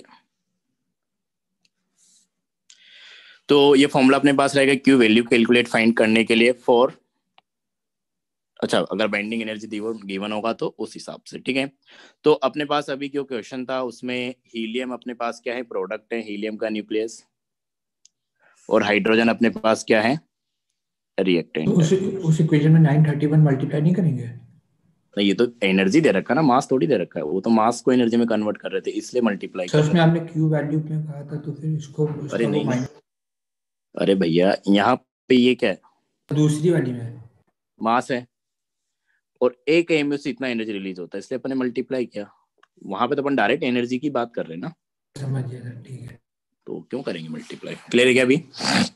Yes, हम्म। तो देखो अपने पास कि हीलियम अपने पास क्या हो गया? प्रोडक्ट हो गया। तो हीलियम अगर अपन बात करें तो binding energy per nucleon helium का अपने को कितना दे रखा है? अच्छा वैल्यूज़ मैंने उल्टा लिख दिया क्या? हाँ ये उल्टा लिख दिया। हाइड्रोजन नीचे है ना? तो हाइड्रोजन का कम होना चाहिए। एक मिनट ये हीलियम का अपने पास आएगा ट्वेंटी मेगा इलेक्ट्रॉन वोल्ट इसका अपने पास आएगा फाइव इलेक्ट्रॉन वोल्ट देख भी सकते हो कि हाइड्रोजन अपने पास पहले आएगा हीलियम तो अपने पास क्या आएगा? बाद में आएगा कहीं। तो ऑब्वियस बात है कि हीलियम का ही ज़्यादा रहेगा, क्योंकि ज़ीरो से जा रहे हैं मतलब ज़ीरो से मतलब पहला एलिमेंट हाइड्रोजन रहेगा। ज़ीरो से नहीं स्टार्ट होगा वो वन से स्टार्ट होगा। हीलियम का मास वन होता है। और अगर अपन आयरन तक जाएँगे तो वहाँ तक जो एलिमेंट आ रहे हैं, उन सब का बाइंडिंग एनर्जी पर न्यूक्लियन बढ़ेगा। तो हाइड्रोजन का कम रहेगा हीलियम का ज़्यादा रहेगा। तो उल्टा लिख दिया मैंने। हाँ। तो हीलियम के लिए अपने को बाइंडिंग एनर्जी पर न्यूक्लियन कितना दे रखा है? ट्वेंटी मेगा इलेक्ट्रॉन वोल्ट और हीलियम की अगर अपन बात करें तो इसमें नंबर ऑफ़ न्यूक्लियंस कितने अपने पास? फोर तो इसका जो बाइंडिंग एनर्जी आ जाएगा, क्योंकि अपन क्या डिफाइन कर रहे थे? एक मिनट अपन डिफाइन कर रहे थे कि बाइंडिंग एनर्जी पर nucleon equal to binding energy divided by number of nucleons तो बाइंडिंग एनर्जी अगर अपने को निकालना होगा तो अपन क्या करेंगे? Number of nucleons that is mass number into binding energy पर न्यूक्लियन तो अपने को बाइंडिंग एनर्जी पर न्यूक्लियन दे रखा है। ठीक है? तो हीलियम अपने पास प्रोडक्ट में है तो उसमें नंबर ऑफ़ न्यूक्लियन हो गया कितना? इस फॉर्मूले से निकाल रहा हूँ मैं। नंबर ऑफ़ न्यूक्लियन अपने पास हो गया क्या? Four binding energy per nucleon अपने पास हो गया कितना? ट्वेंटी माइनस रिएक्टेंट में अगर देखोगे तो रिएक्टेंट में अपने पास क्या है? हाइड्रोजन है। और हाइड्रोजन भी कितने हैं? दो हाइड्रोजन है। और एक हाइड्रोजन को अगर देखोगे तो एक हाइड्रोजन में कितने न्यूक्लियन है दो। क्योंकि ड्यूटेरियम की बात करना चाह रहा है। तो अपने पास नंबर ऑफ़ न्यूक्लियंस तो कितना हो जाएगा? Two binding energy per nucleon अपने पास कितना है? फाइव और कितने हाइड्रोजन है टोटल दो। तो मल्टीप्लाई बाई टू तो यहाँ से अगर करोगे तो अपने पास कितना आ जाएगा ये? सिक्सटी। सही निकाला ना? यस चलो। तो इसमें किसी को दिक्कत हो तो बताओ। तो ये दो फॉर्मूला हो सकता है अपने पास क्यू वैल्यू निकालने का। या तो तुमको बाइंडिंग एनर्जी दे सकता है यही दो क्वेश्चन बनेंगे यहाँ पे भी इसके अलावा कुछ नहीं बन सकता। कि बाइंडिंग एनर्जी दे सकता है या बाइंडिंग एनर्जी पर न्यूक्लियन दे सकता है। तो बाइंडिंग एनर्जी के हिसाब से अपन प्रोडक्ट माइनस रिएक्टेंट कर रहे हैं कि binding energy of products minus binding energy of reactants और जब मास अपने को दिया होगा तो मास डिफेक्ट अपन कैलकुलेट करके डेल्टा एम निकाल के तो डेल्टा एम अपने पास रिएक्टेंट माइनस प्रोडक्ट का मास करना है। और फिर उसको अपन मल्टीप्लाई कर देंगे इससे। तो ये दो तरीके के क्वेश्चंस बनेंगे तो इनको इस तरीके से तुम कर सकते हो। ठीक है? क्लियर है क्या तो ये इतना था अपने पास। न्यूक्लियर रिएक्शन से रिलेटेड न्यूक्लियर रिएक्शन क्या होती हैं, कितने टाइप की हैं, कैसे अल्फ़ा बीटा पार्टिकल कैलकुलेट करते हैं, और न्यूक्लियर फ्यूजन होगा न्यूक्लियर फ्यूजन होगा, कैसे अपन देखते हैं on the basis of binding energy पर न्यूक्लियन वर्सेस एटॉमिक नंबर या मास नंबर के कर्व से। तो ये हो गया अपने पास। अब अपने को एक और बात करनी है कि जैसे बहुत दिनों पहले किसी का एक का डाउट भी आया था कि सर न्यूक्लियस में तो बहुत सारे प्रोटॉन्स होते हैं और उनके बीच रिपल्सन भी रहेगा तो भी इतने सारे न्यूक्लियस मतलब न्यूक्लियस में इतने सारे प्रोटॉन एक साथ कैसे रह पा रहे हैं, ठीक है? तो इसके पीछे अपन एक प्रिंसिपल है, उसके बेसिस पे अपन एक्सप्लेन करते हैं। तो ये अपने पास लास्ट टॉपिक रहेगा न्यूक्लियर केमिस्ट्री का, कि principle of principle of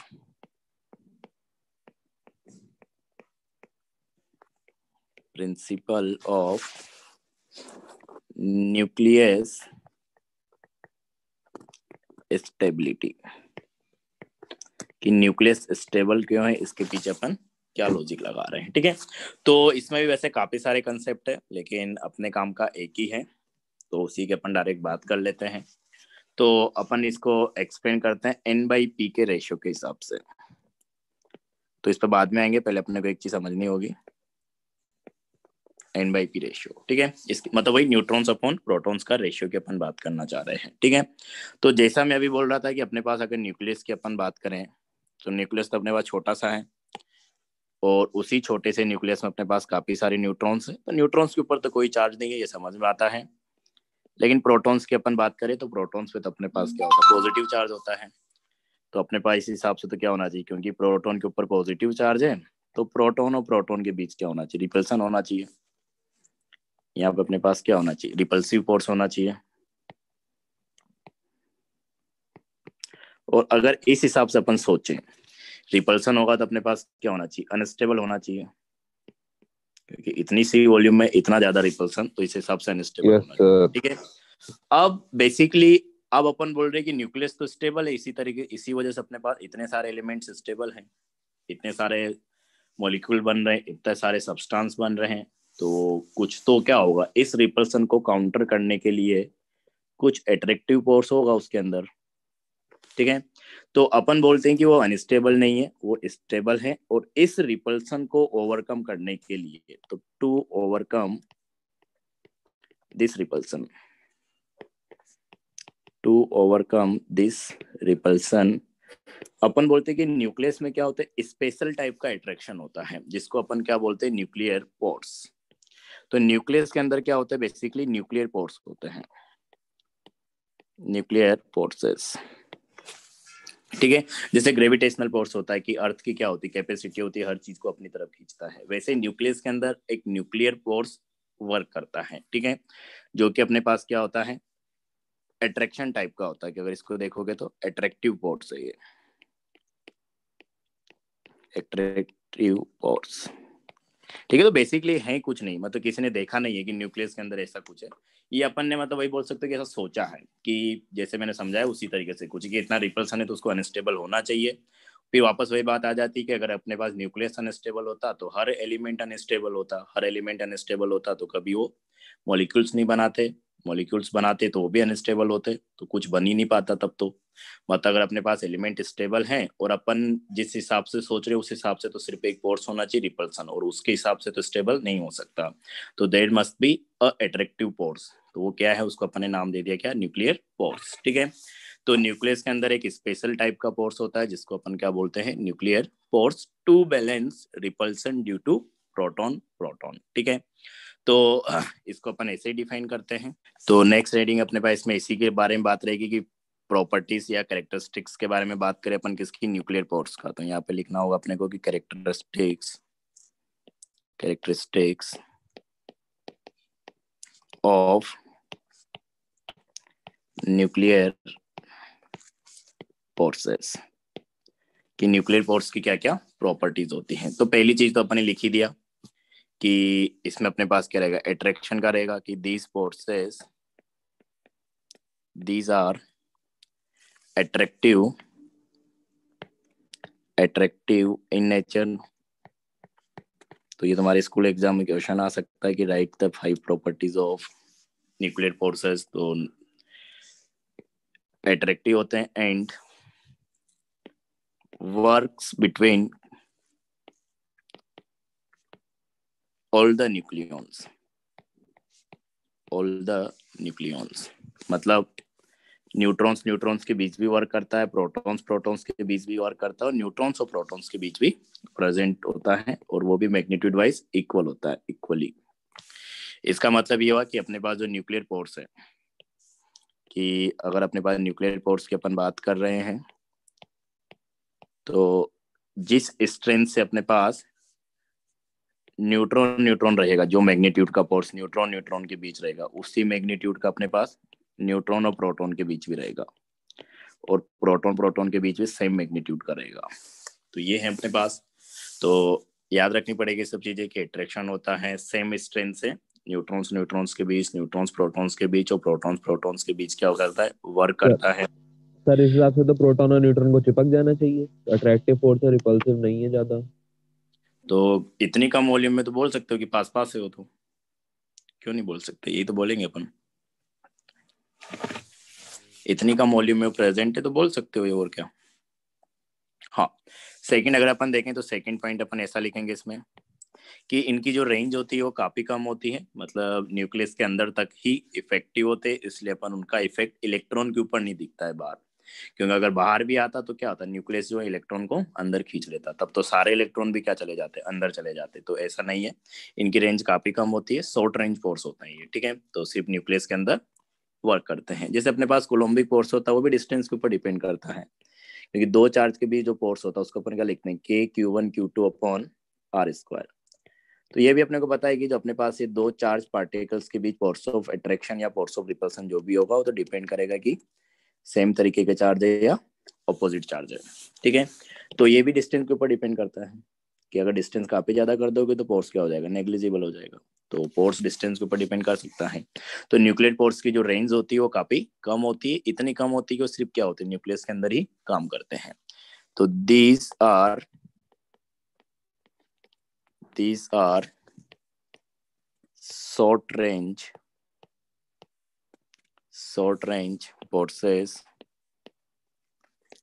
works only works only in nucleus. कि सिर्फ़ न्यूक्लियस के अंदर ही काम करते हैं तो इनकी रेंज काफ़ी कम है। बाकी अगर अपन लिखें तो एक चीज़ अपन और यहाँ पर लिखते हैं लास्ट पॉइंट है कि इनकी जो स्ट्रेंथ होती है, वो काफ़ी ज़्यादा होती है। जो ग्रेविटेशनल फोर्स होता है, उससे भी ज़्यादा स्ट्रॉन्ग होते हैं और दो चार्ज के बीच जो इलेक्ट्रोस्टैटिक फोर्स होता है चार्ज के बीच जो फोर्स होता है, उसको अपन इलेक्ट्रोस्टैटिक फोर्स बोलते हैं, उससे भी ज़्यादा स्ट्रॉन्ग होते हैं इनकी स्ट्रेंथ तो एक पॉइंट ये ध्यान रखना पड़ेगा कि these are these are very strong these are very strong, these are very strong. With respect to अभी उनसे कंपेयर करें तो with respect to gravitational forces gravitational forces sir ये स्ट्रॉन्ग और वीक दोनों को मिला के बोल रहे हैं न्यूक्लियर फोर्सेस स्ट्रॉन्ग वीक मतलब? सर जो फोर फंडामेंटल फोर्सेस में strong nuclear force weak nuclear force होता है। हाँ हाँ। मतलब जो जनरल बात करना चाह रहे हैं अपन दोनों को कंपेयर करें तो। कापे मतलब वीक सा ग्रेविटेशन से ज़्यादा मतलब स्ट्रांग होता है। हाँ उससे ज़्यादा स्ट्रेंथ होती है उसकी। और दो चीज़ों को कंपेयर कर रहे हैं अपन दोनों में डिफरेंस काफ़ी ज़्यादा होगा इसलिए अपन बोल रहे कि बहुत ज़्यादा है ये बहुत कम है। इसकी भी कुछ रेंज होती होगी ना ग्रेविटेशनल फोर्स की इतने से इतना ही आता होगा। उस हिसाब से बात कर रहे हैं और क्या। ठीक है तो ग्रेविटेशनल फोर्स या फिर इलेक्ट्रोस्टैटिक फोर्स इलेक्ट्रोस्टैटिक फोर्स होता है दो चार्ज के बीच जो फोर्स होता है। इलेक्ट्रोस्टैटिक फोर्स तो ये कुछ पॉइंट्स हैं जो तुमको ध्यान रखने पड़ेंगे। बेसिकली तीन पॉइंट है। आप स्कूल एग्ज़ाम में पूछता है तो इन्हीं को तोड़ मरोड़ के तुम चार पाँच बना सकते हो। तो ये है अपने पास। तो ये हो गया अपने पास न्यूक्लियर फोर्स के बारे में। तो अपन ये ऐसा मानते हैं कि अपने पास रिपल्सन को ओवरकम करने के लिए वहाँ पे एक फोर्स होता है न्यूक्लियर फोर्स जो कि अट्रैक्टिव टाइप का होता है। और उसकी प्रॉपर्टीज़ के बारे में अपन ने बात की। तो ये क्वेश्चन तुमसे पूछा जा सकता है कि what are the characteristics of nuclear forces ठीक है? और एग्ज़ाम सब में तो आएगा ही क्वेश्चन और आप ही रखे हैं पहले। फिजिक्स में भी आते हैं केमिस्ट्री में भी आते हैं तो ये चीज़ तो ऐसी होगी कि दोनों सब्जेक्ट में तुम्हारे लिए इक्वल इंपॉर्टेंस है इस चीज़ की, ठीक है? तो ये है अपने पास। नेक्स्ट अगर अपन इसमें देखें तो वापस अगर अपन एन बाई पी रेशियो पे आते हैं तो basically N by P ratio को अपन, इसके बेसिस पे भी अपन ये पता कर सकते हैं कि न्यूक्लियस स्टेबल रहेगा या अनस्टेबल रहेगा। और यहाँ पे मैं इसकी हेल्प से एक और चीज़ बता सकता हूँ कि अगर स्टेबल है, तब तो ठीक है, तब तो रेडियो एक्टिविटी नहीं दिखाएगा। लेकिन अगर अनस्टेबल है तो वो रेडियो एक्टिविटी दिखाएगा। तब वो कौन सा पार्टिकल एमिट करेगा? अल्फ़ा पार्टिकल एमिट करेगा, कब बीटा पार्टिकल एमिट करेगा, कब पॉजिट्रॉन एमिट करेगा, कब अपने पास न्यूट्रॉन एमिट करेगा। इस तरीके की बातें अपन एन बाई पी रेशो के बेसिस पे कर सकते हैं, ठीक है?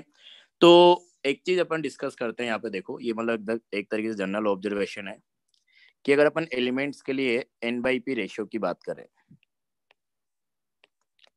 तो स्टार्टिंग में अपने पास जो एलिमेंट्स होते हैं, जैसे अपन जनरल में बोले कि अपने पास up to atomic number twenty तो स्टार्टिंग में जो एलिमेंट्स अगर उनमें देखोगे तो नंबर ऑफ़ न्यूट्रॉन्स और नंबर ऑफ़ प्रोटॉन्स बराबर होते हैं। मैं स्टेबल न्यूक्लियस के बारे में बात कर रहा हूँ। मोस्ट ऑफ़ द केस में ऐसा है, जैसे हाइड्रोजन के लिए तो नहीं होगा हीलियम का मास नंबर टू है, एटॉमिक नंबर अपने पास सॉरी एटॉमिक नंबर टू है मास नंबर फोर है। इसी तरीके से ऑक्सीजन में देखोगे तो सिक्स सॉरी एट ही आ जाएगा, इसका मास नंबर सिक्सटीन आ जाएगा। कार्बन में देखोगे तो सिक्स ट्वेल्व जनरल बात हो रही है आपके नाइट्रोजन का सेवन फोर्टीन इस तरीके से अपने पास देख सकते हो, ठीक है? तो स्टार्टिंग के जो एलिमेंट्स है मतलब अपन ये बोलना चाह रहे हैं स्टेबल उनके जो स्टेबल न्यूक्लियस होते हैं उन सब में क्या होता है? नंबर ऑफ़ प्रोटॉन्स और नंबर ऑफ़ न्यूट्रॉन्स अपने पास क्या होते हैं? बराबर होते हैं। तो ये अपन जनरल बोल सकते हैं कि अपने पास up to Z equal to twenty number of neutrons और नंबर ऑफ़ प्रोटॉन्स बराबर होते हैं मतलब रेशियो अपने पास क्या रहेगा? वन रहेगा। ठीक है? और अगर तुम इसी चीज़ को देखोगे कि अपने पास जो है जेड जैसे थर्टी के आगे जाओगे तो ये एन बाई पी का जो रेशियो आता है, वो अपने पास वन पॉइंट वन थ्री इस तरीके से। फिर अगर तुम आगे जाते जाओगे, मान लो तुमने जेड इक्वल टू फोर्टी तक चेक किया तो ये बढ़ता जा रहा है। मतलब मैं ये कहना चाह रहा हूँ कि जैसे जैसे एटॉमिक नंबर बढ़ रहा है, वैसे वैसे अपने पास एन बाई पी का रेशियो अगर तुम निकालोगे तो बढ़ता जाएगा। याद नहीं रखना है, बस ये ऑब्जर्वेशन में लिख रहा हूँ कि इस तरीके से कुछ आता है। अगर तुम कॉमन बात करोगे जनरल बात करोगे तो ठीक है? जेड फिफ्टी तक चले जाओगे तो वहाँ पे अगर निकालोगे तो एन बाई पी का रेशियो जो है अपने पास, ये बढ़ता जा रहा है। वन पॉइंट थ्री आ गया। याद नहीं रखना, बस समझने के लिए अपन एक नोट लिखेंगे लास्ट में, इसी तरीके से आगे।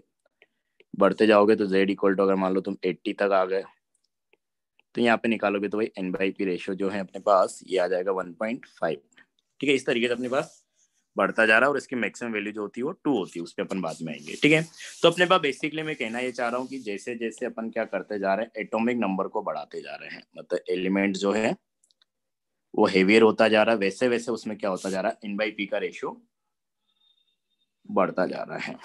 ठीक है? तो इसका भी कुछ रीजन होगा, ये भी अपने को एक्सप्लेन करना पड़ेगा, क्योंकि इससे ये भी पूछा जा सकता है तुमसे। ठीक है? तो पहली बात तो अपन ने क्या ऑब्जर्वेशन दिया कि जैसे जैसे अपने पास is the atomic number is the atomic number atomic number increases increases अपन देख रहे कि एन बाई पी का रेशियो जो है, ये भी क्या कर रहा है? इंक्रीज कर रहा है। N by P ratio also increases also increases कि ये भी अपने पास क्या हो रहा है? इंक्रीज कर रहा है। ठीक है? तो बेसिकली अपने पास एन बाई पी रेशियो बढ़ रहा है। इसका मतलब क्या है कि प्रोटॉन के कंपैरिजन में न्यूट्रॉन्स का नंबर ज़्यादा आ जा रहा है। ये तो मतलब हुआ ना एन बाई पी बढ़ने का मतलब क्या हुआ? कि न्यूट्रॉन्स जो है अपने पास हो प्रोटॉन से ज़्यादा रहेंगे। और ये चीज़ तुम ऑब्ज़र्व भी कर सकते हो कि 21 के आगे देखोगे स्किंडियम टाइटेनियम वेनेडियम क्रोमियम इन सब में देखोगे तो न्यूट्रॉन्स के नंबर जो है प्रोटॉन से ज़्यादा आने लगते हैं। वो सब एलिमेंट में ऐसा होगा, ठीक है? तो मतलब क्या हो रहा है कि एक पर्टिकुलर एटॉमिक नंबर के आगे तुम बढ़ोगे तो अपने पास क्या हो रहा है नंबर ऑफ़ प्रोटॉन्स के कंपैरिजन में नंबर ऑफ़ न्यूट्रॉन्स जो है, वो ज़्यादा बढ़ रहा है, ठीक है? तो इसके पीछे अपन रीजन ऐसा देते हैं कि अपने पास ऐसा क्यों हो रहा है? कि जैसे जैसे अपन बोल क्या रहे कि जैसे जैसे अपन क्या कर रहे हैं एटॉमिक नंबर को बढ़ा रहे हैं, वैसे वैसे अपने पास क्या हो रहा है एन बाई पी का रेशियो जो है ये इंक्रीज कर रहा है। मतलब न्यूट्रॉन्स पे इंक्रीज जो है प्रोटॉन्स के कंपैरिजन में ज़्यादा हो रहा है। तो यहाँ पे अपन देखो ऐसा बोलते हैं कि जेड बढ़ने के साथ साथ अपने पास प्रोटॉन्स बढ़ेगा। तो अपने पास न्यूक्लियस का वॉल्यूम तो वही छोटा सा है, उसमें प्रोटॉन्स बढ़ रहा है तो जो रिपल्सन है वो अपने पास ज़्यादा आ जाएगा, ठीक है? तो जैसे जैसे प्रोटॉन्स का नंबर बढ़ता जा रहा है, न्यूक्लियस में रिपल्सन भी बढ़ता जा रहा है, ठीक है? तो जैसे जैसे जेड बढ़ रहा है, वैसे वैसे अपने पास नंबर ऑफ़ प्रोटॉन्स का नंबर बढ़ रहा है। तो अगर प्रोटॉन्स का नंबर अपने पास बढ़ रहा है तो अपने पास एक तरीके से क्या रिपल्सन बढ़ता जा रहा है। तो इस रिपल्सन को जो बढ़ता जा रहा है, ठीक है? तो अब अपने पास रिपल्सन इतना ज़्यादा हो जा रहा है कि अगर मैं इक्वल नंबर में न्यूट्रॉन्स ले ले रहा हूँ ना तो वहाँ पे जो नेट अट्रैक्शन आएगा एज अ न्यूक्लियर फोर्स वो इसको ओवरकम नहीं कर पा रहा है। तो न्यूट्रॉन्स का नंबर अपने पास इस वजह से क्या हो जाएगा? ज़्यादा हो जाएगा मतलब अपन यहाँ पे ऐसा बोलते हैं कि जैसे जैसे अपन जेड को बढ़ाते जा रहे हैं, एक बार मैं फिर बोल देता हूँ, वैसे वैसे नंबर ऑफ़ प्रोटॉन्स बढ़ रहे हैं। तो न्यूक्लियस मतलब तो छोटा सा वॉल्यूम है, उसमें अपने पास प्रोटॉन्स का नंबर बढ़ता जा रहा है। क्योंकि वॉल्यूम में कोई उतना सिग्निफिकेंट चेंज नहीं होता है न्यूक्लियस के वॉल्यूम में। और प्रोटॉन्स का नंबर अगर बढ़ता जा रहा तो रिपल्सन बढ़ता जाएगा। तो अगर तुम सेम नंबर में न्यूट्रॉन्स लेते हो, क्योंकि न्यूट्रॉन्स का कंट्रीब्यूशन तो क्या है, वो न्यूक्लियर फोर्स क्रिएट करवाएगा। न्यूट्रॉन्स न्यूट्रॉन्स आपस में न्यूट्रॉन्स प्रोटॉन्स आपस में, और प्रोटॉन्स प्रोटॉन्स भी आपस में, ठीक है? तो न्यूट्रॉन्स जो है अपने पास, वो क्या बोलते हैं? न्यूक्लियर फोर्स क्रिएट करवाते हैं तो अपने पास रिपल्सन बढ़ता ही जा रहा है, बढ़ता ही जा रहा है। तो अगर सेम नंबर में अपन न्यूट्रॉन्स लेते हैं प्रोटॉन के तो वहाँ पे जो है, वो उतना अट्रैक्शन क्रिएट नहीं कर पा रहे हैं, जब अपने पास एटॉमिक नंबर बढ़ गया है तो।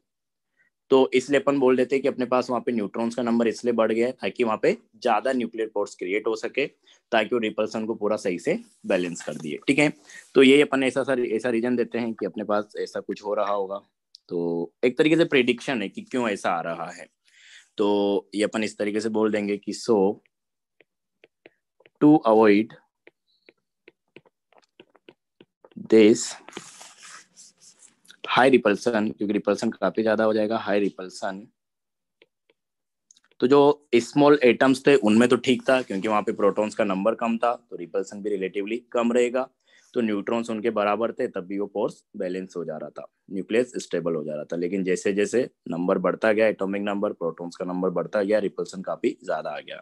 तो अगर सेम नंबर में न्यूट्रॉन्स रहते तो वो बैलेंस नहीं कर पा रहे थे, इसलिए अपन बोल देते कि न्यूट्रॉन्स के नंबर ज़्यादा हो जाते हैं एज कंपेयर टू प्रोटॉन तो so to avoid this high repulsion number of nuclear number of neutrons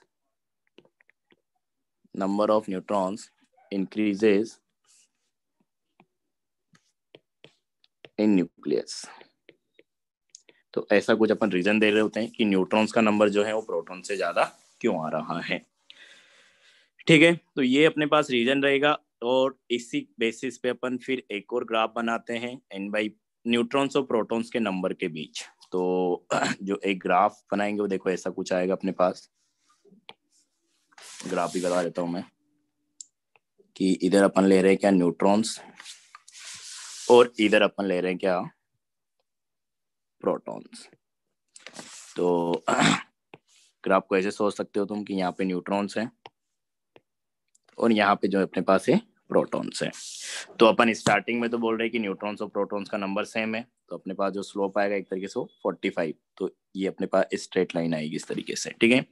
उसके बाद अपन बोल रहे हैं कि अपने पास क्या होता जा रहा है? न्यूट्रॉन्स का नंबर जो है बढ़ता जा रहा है। तो न्यूट्रॉन्स का नंबर अगर बढ़ रहा है तो ये वाली लाइन तो अपने पास एक तरीके से सोचा जाए तो ये वाली लाइन अपने पास हो जाएगी। Number of neutrons equal to number of protons वाला। ठीक है? तो स्टार्टिंग में जो एलिमेंट्स थे वो तो इस लाइन पे रहेंगे। उनके लिए तो न्यूट्रॉन्स और प्रोटॉन्स का नंबर देखोगे तो ग्राफ के हिसाब से क्योंकि उनके लिए तो वन है। लेकिन एक पॉइंट के बाद अपने पास क्या होगा कि ये बेल्ट जो है तो जो ये ग्राफ है न्यूट्रॉन्स की तरफ़ शिफ्ट होने लगेगा इस तरीके से, क्योंकि न्यूट्रॉन्स का नंबर ज़्यादा आ रहा है। अब ये ऐसा नहीं रहेगा कि अपने पास एक कर्व आएगा, यहाँ पे एक जो है स्टेबल न्यूक्लियस के लिए अपन बात करें तो पूरा एक ऐसे बहुत सारे एलिमेंट्स होंगे। क्योंकि जैसे जैसे एटॉमिक नंबर बढ़ता है ना तो एक पर्टिकुलर एलिमेंट के आइसोटोप्स का नंबर भी बढ़ता जाता है। तो उन आइसोटोप में से कुछ स्टेबल रहेंगे, कुछ अनस्टेबल रहेंगे। तो सबके लिए न्यूट्रॉन्स और प्रोटॉन्स बना के जितने भी नॉन एलिमेंट्स है ये अपन ने सबके लिए बनाया है। तो जो स्टेबल एलिमेंट्स है उनमें से नॉन एलिमेंट्स में से, वो इस तरीके से एक रीजन में उनके एन बाई पी वाला जो पॉइंट है, वो इसको फॉलो करता है, इस तरीके से कुछ एन बाई पी रेशियो जो रहेगा। तो ये जो रीजन बना रहा हूँ मैं एसी में उनका एन बाई पी रेशियो रहेगा।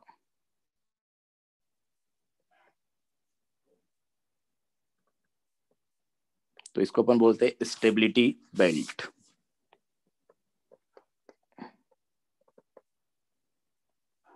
ये।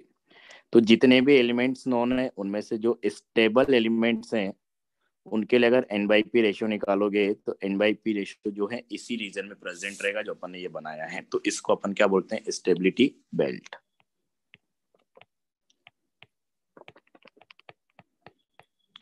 तो बेसिकली अगर तुमको रेंडमली कोई एलिमेंट दे दिया जाए, उसका कोई एटम दे दिया जाए और तुमसे पूछा जाए कि वो स्टेबल रहेगा या नहीं रहेगा तो उसके लिए N by P ratio find करो। अगर उसका एन बाई पी रेशियो इस बेल्ट में कहीं प्रेजेंट है तो इसके लिए अकॉर्डिंग कोऑर्डिनेट होगा। तो ये बना के तुमको ग्राफ व्राफ में मिल जाएगा नेट पे कोऑर्डिनेट के साथ। उतना अपन चेक नहीं करेंगे, बस अपने को समझना है कि कोई अननोन एलिमेंट दे दिया गया तुमको या मान लो कि फ्यूचर में कोई नया एलिमेंट अपने पास डिस्कवर होता है, ठीक है? तो अगर कोई नया एलिमेंट डिस्कवर हो रहा है तो तुमको पता करना है, वो तो पता चल जाता है कि स्टेबल है, नहीं स्टेबल है, उससे एनर्जी रिलीज़ होगा। लेकिन तुमको ऐसे इस ग्राफ को यूज़ करके बताना है तो उसमें एन बाई पी रेशियो निकालो। अगर उसका एन बाई पी रेशियो इस बेल्ट में आ रहा है कहीं पे भी तो मतलब क्या एक स्टेबल रहेगा।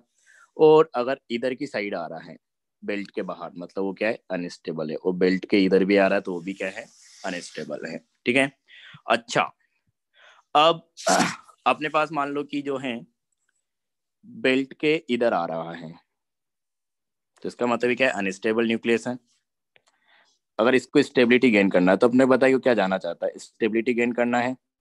तो स्टेबिलिटी गेन करना है मतलब वो एक ऐसे एलिमेंट में कन्वर्ट होगा, क्योंकि वो क्या करेगा? रेडियो एक्टिविटी दिखाएगा।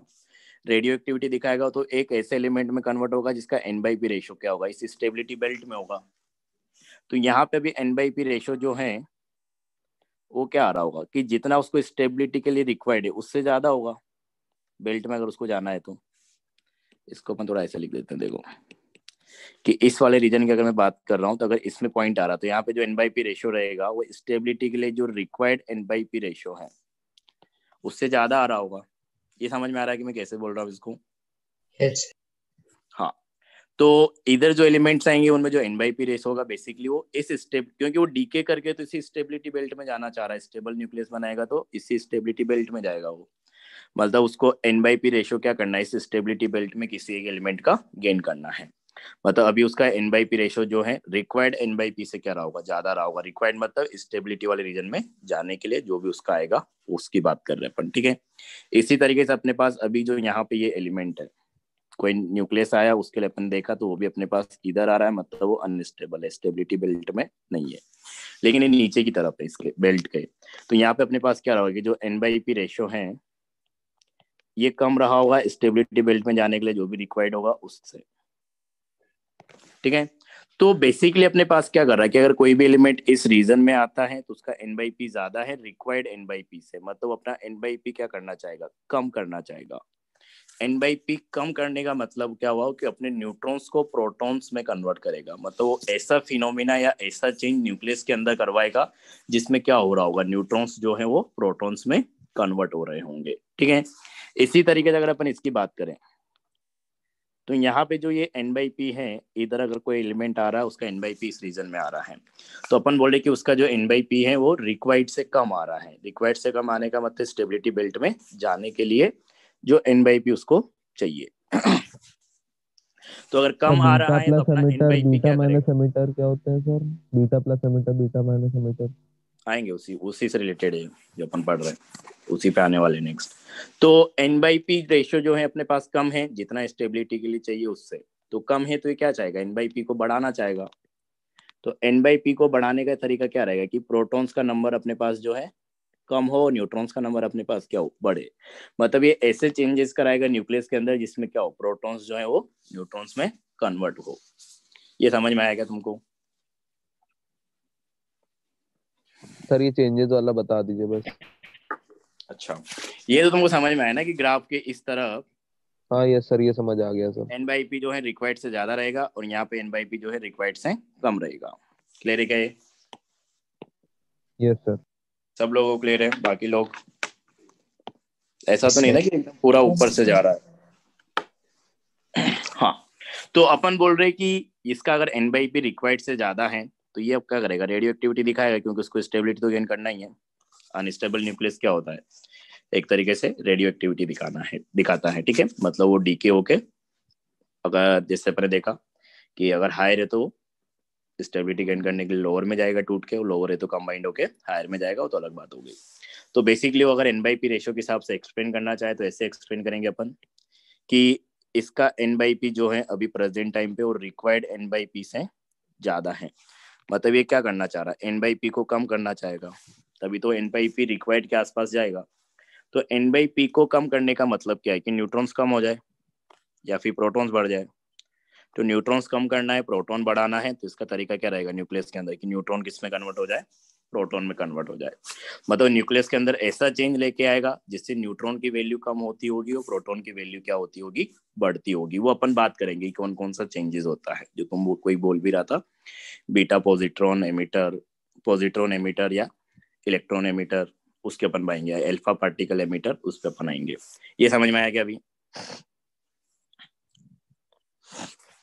अरे समझ में आया?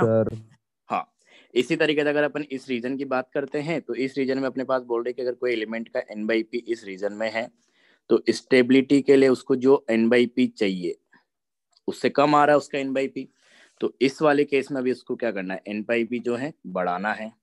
तो एन बाई पी बढ़ाने का मतलब क्या हो गया? तो न्यूट्रॉन्स बढ़ जाए या प्रोटॉन कम हो जाए। तो न्यूट्रॉन को बढ़ा के वो प्रोटॉन को कम करके वो क्या कर सकता है अपना एन बाई पी जो है बढ़ा सकता है, क्योंकि उसको स्टेबिलिटी गेन करना है तो एन बाई पी बढ़ाना पड़ेगा। मतलब यहाँ पे वो न्यूक्लियस के अंदर ऐसे चेंज लेके आएगा कि प्रोटॉन्स किसमें कन्वर्ट हो रहे होंगे? न्यूट्रॉन्स में कन्वर्ट हो रहे होंगे। या फिर बोल दो कि प्रोटॉन का नंबर जो है वो कम हो रहा होगा और न्यूट्रॉन का नंबर बढ़ रहा होगा। अभी क्लियर है क्या? अबे हाँ ना बोलो। यस क्लियर चलो तो इसी हिसाब से अपन प्रेडिक्ट कर लेते हैं कि कब कौन सा प्रोसेस हो रहा होगा अल्फ़ा पार्टिकल एमिट हो रहा होगा बीटा हो रहा होगा, या पॉजिट्रॉन हो रहा होगा, या के कैप्चर हो रहा होगा, एक और चीज़ अपन पढ़ेंगे अलग। तो इसको अलग अलग केस बना के पढ़ते हैं कि केस वन तो केस वन की अगर अपन बात करें, एक minute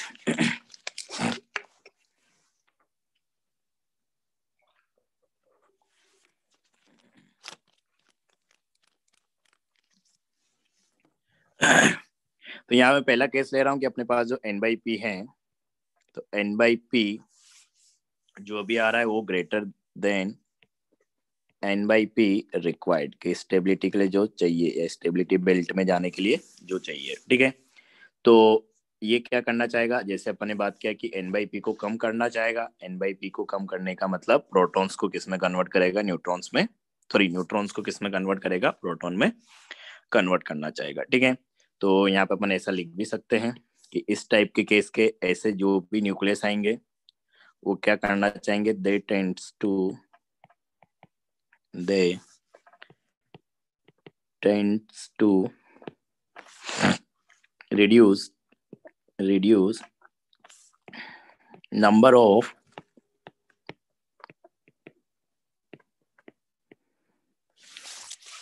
neutrons. They tend to number of neutrons by following process.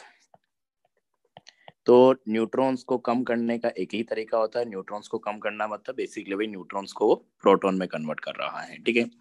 तो they tends to reduce number of neutrons by following process तो एक ही प्रोसेस पॉसिबल है इस केस में कि अगर न्यूट्रॉन को प्रोटॉन में कन्वर्ट करना है तो एक पॉसिबल है मतलब अपन अपने सिलेबस में एक ही पढ़ते हैं। तो उसमें जो आएगा अपने पास आ जाएगा क्या? बीटा डी के कि बीटा पार्टिकल क्या कर दे वो? एमिट कर दे। तो पहला अपन बात कर रहे हैं किसका? बीटा डीके तो बेसिकली बीटा डीके में वही होगा कि अपने पास जो न्यूट्रॉन है वो किसमें कन्वर्ट होगा? प्रोटॉन में होगा। तो न्यूट्रॉन क्योंकि अपने को एन बाई पी क्या करना है? कम करना है। तो न्यूट्रॉन्स का नंबर कम करना है प्रोटॉन का नंबर बढ़ाना है। तो neutron neutron converts into proton कि न्यूट्रॉन जो है, प्रोटॉन में कन्वर्ट होगा, ठीक है? तो देखो किस तरीके से होगा कि अपन बोल रहे हैं कि न्यूट्रॉन है अपने पास, न्यूट्रॉन इस तरीके से रिप्रेजेंट करते हैं मास में वन का कंट्रीब्यूशन सॉरी चार्ज में तो ज़ीरो तो ये न्यूट्रॉन हो गया। इसको अपन बोल रहे कि प्रोटॉन में कन्वर्ट हो रहा है तो प्रोटॉन मतलब मास में वन का कंट्रीब्यूशन और चार्ज भी आएगा इसकी वजह से, प्लस वन।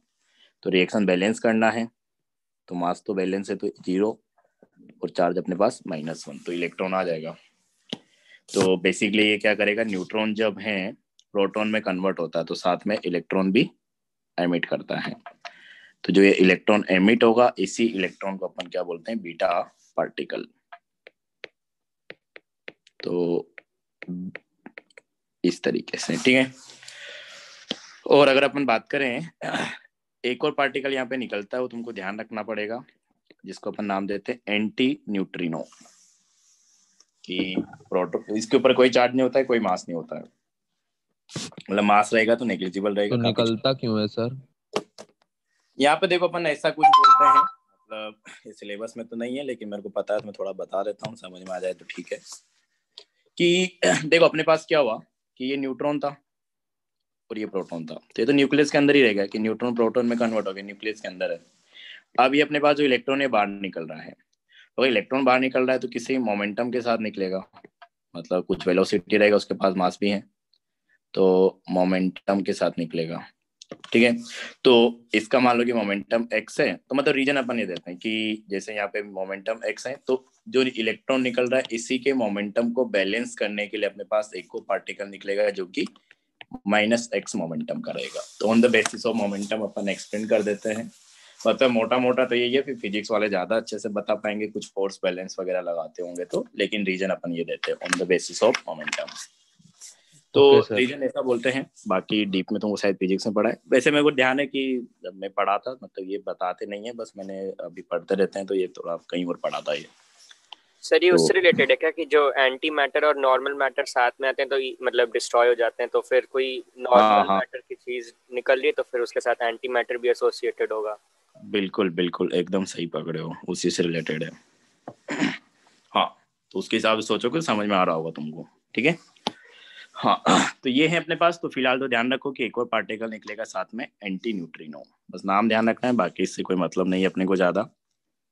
तो ये एक और पार्टिकल निकल रहा है, जिसको अपन बोल रहे हैं एंटी न्यूट्रिनो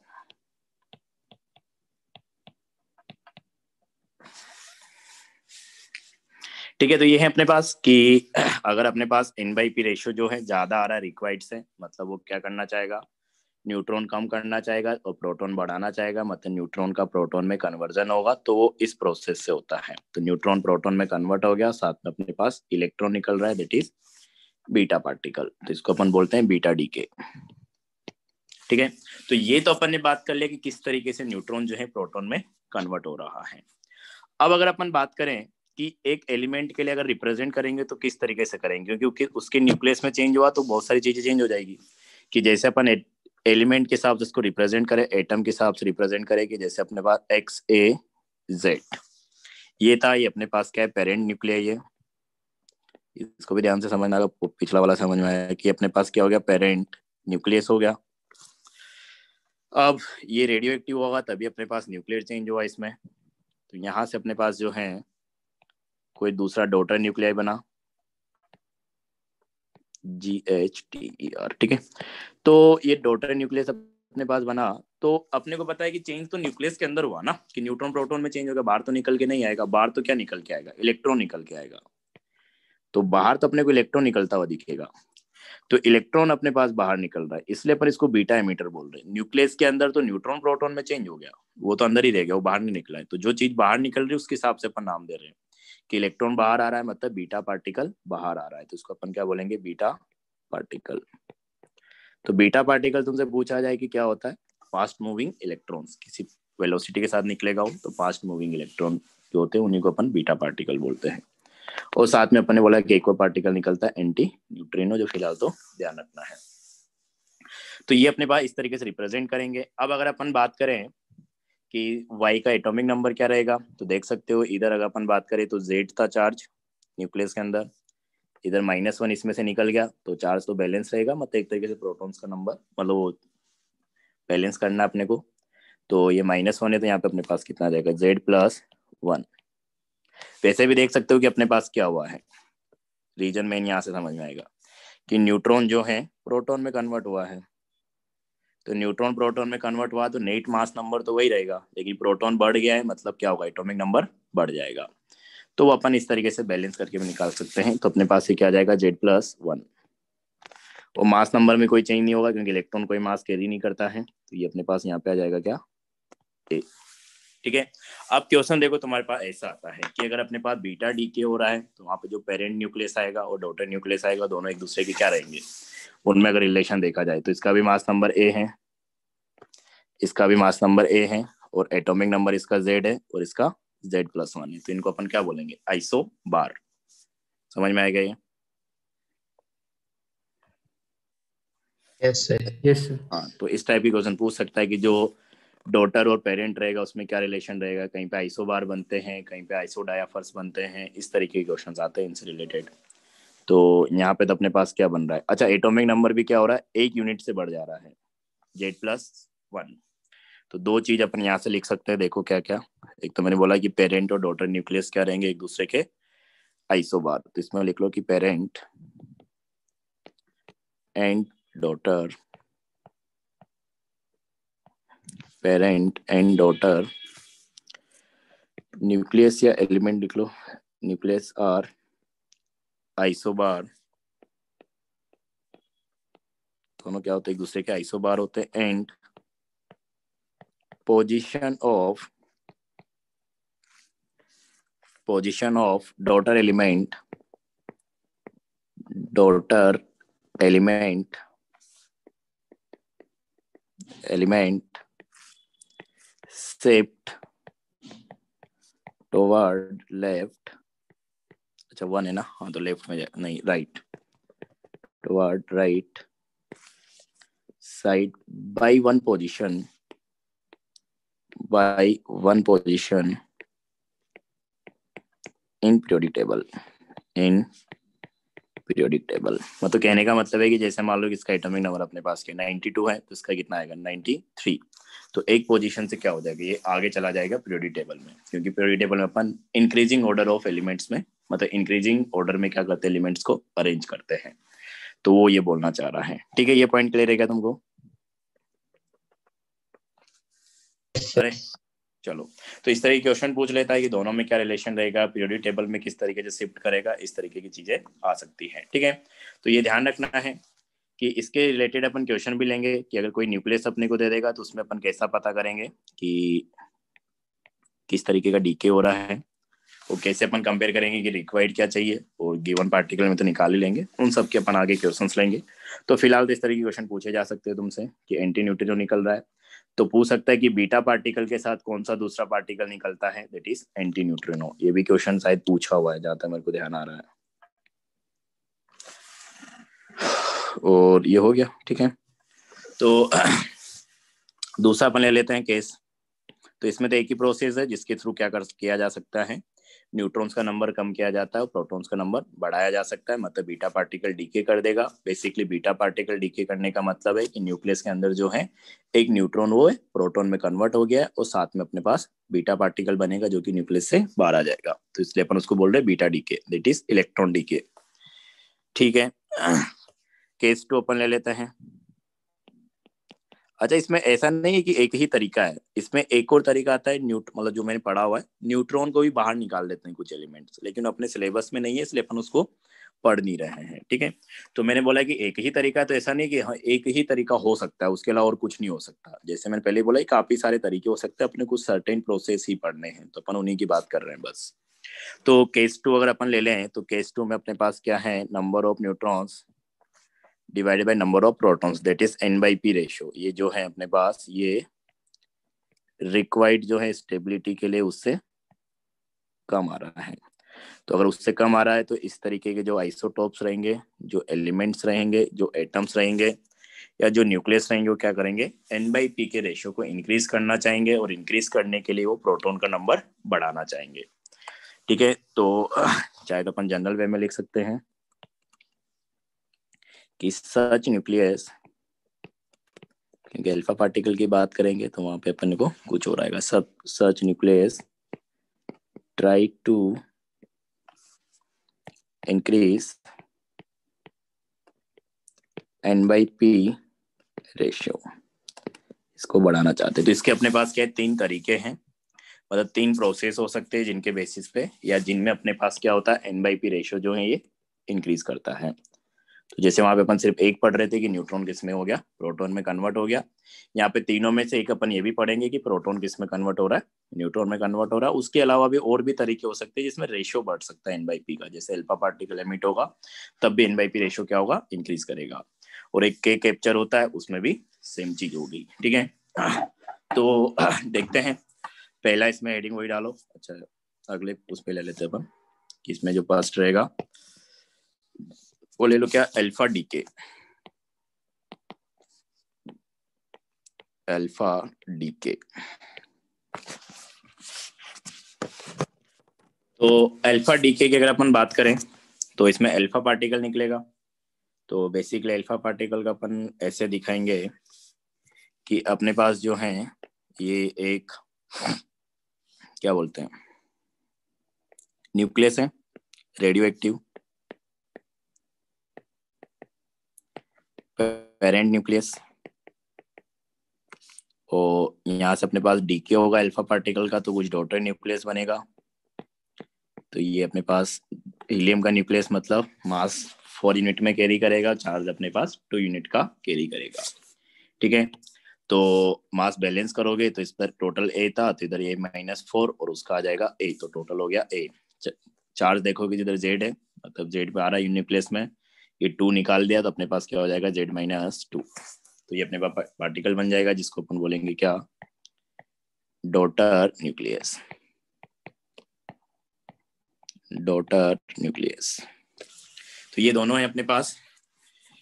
तो इस तरीके से अल्फ़ा पार्टिकल निकल जाएगा। यहाँ पे अगर अपन बात करें तो अपने पास क्या हो रहा है कि जो एटॉमिक नंबर है पेरेंट और डॉटर में अगर अपन कंपेयर करेंगे तो ये तो निकल गया। इसको तो अपन बोल दे रहे क्या? अल्फ़ा पार्टिकल तो ये न्यूक्लियस से बाहर आ जाएगा हीलियम का न्यूक्लियस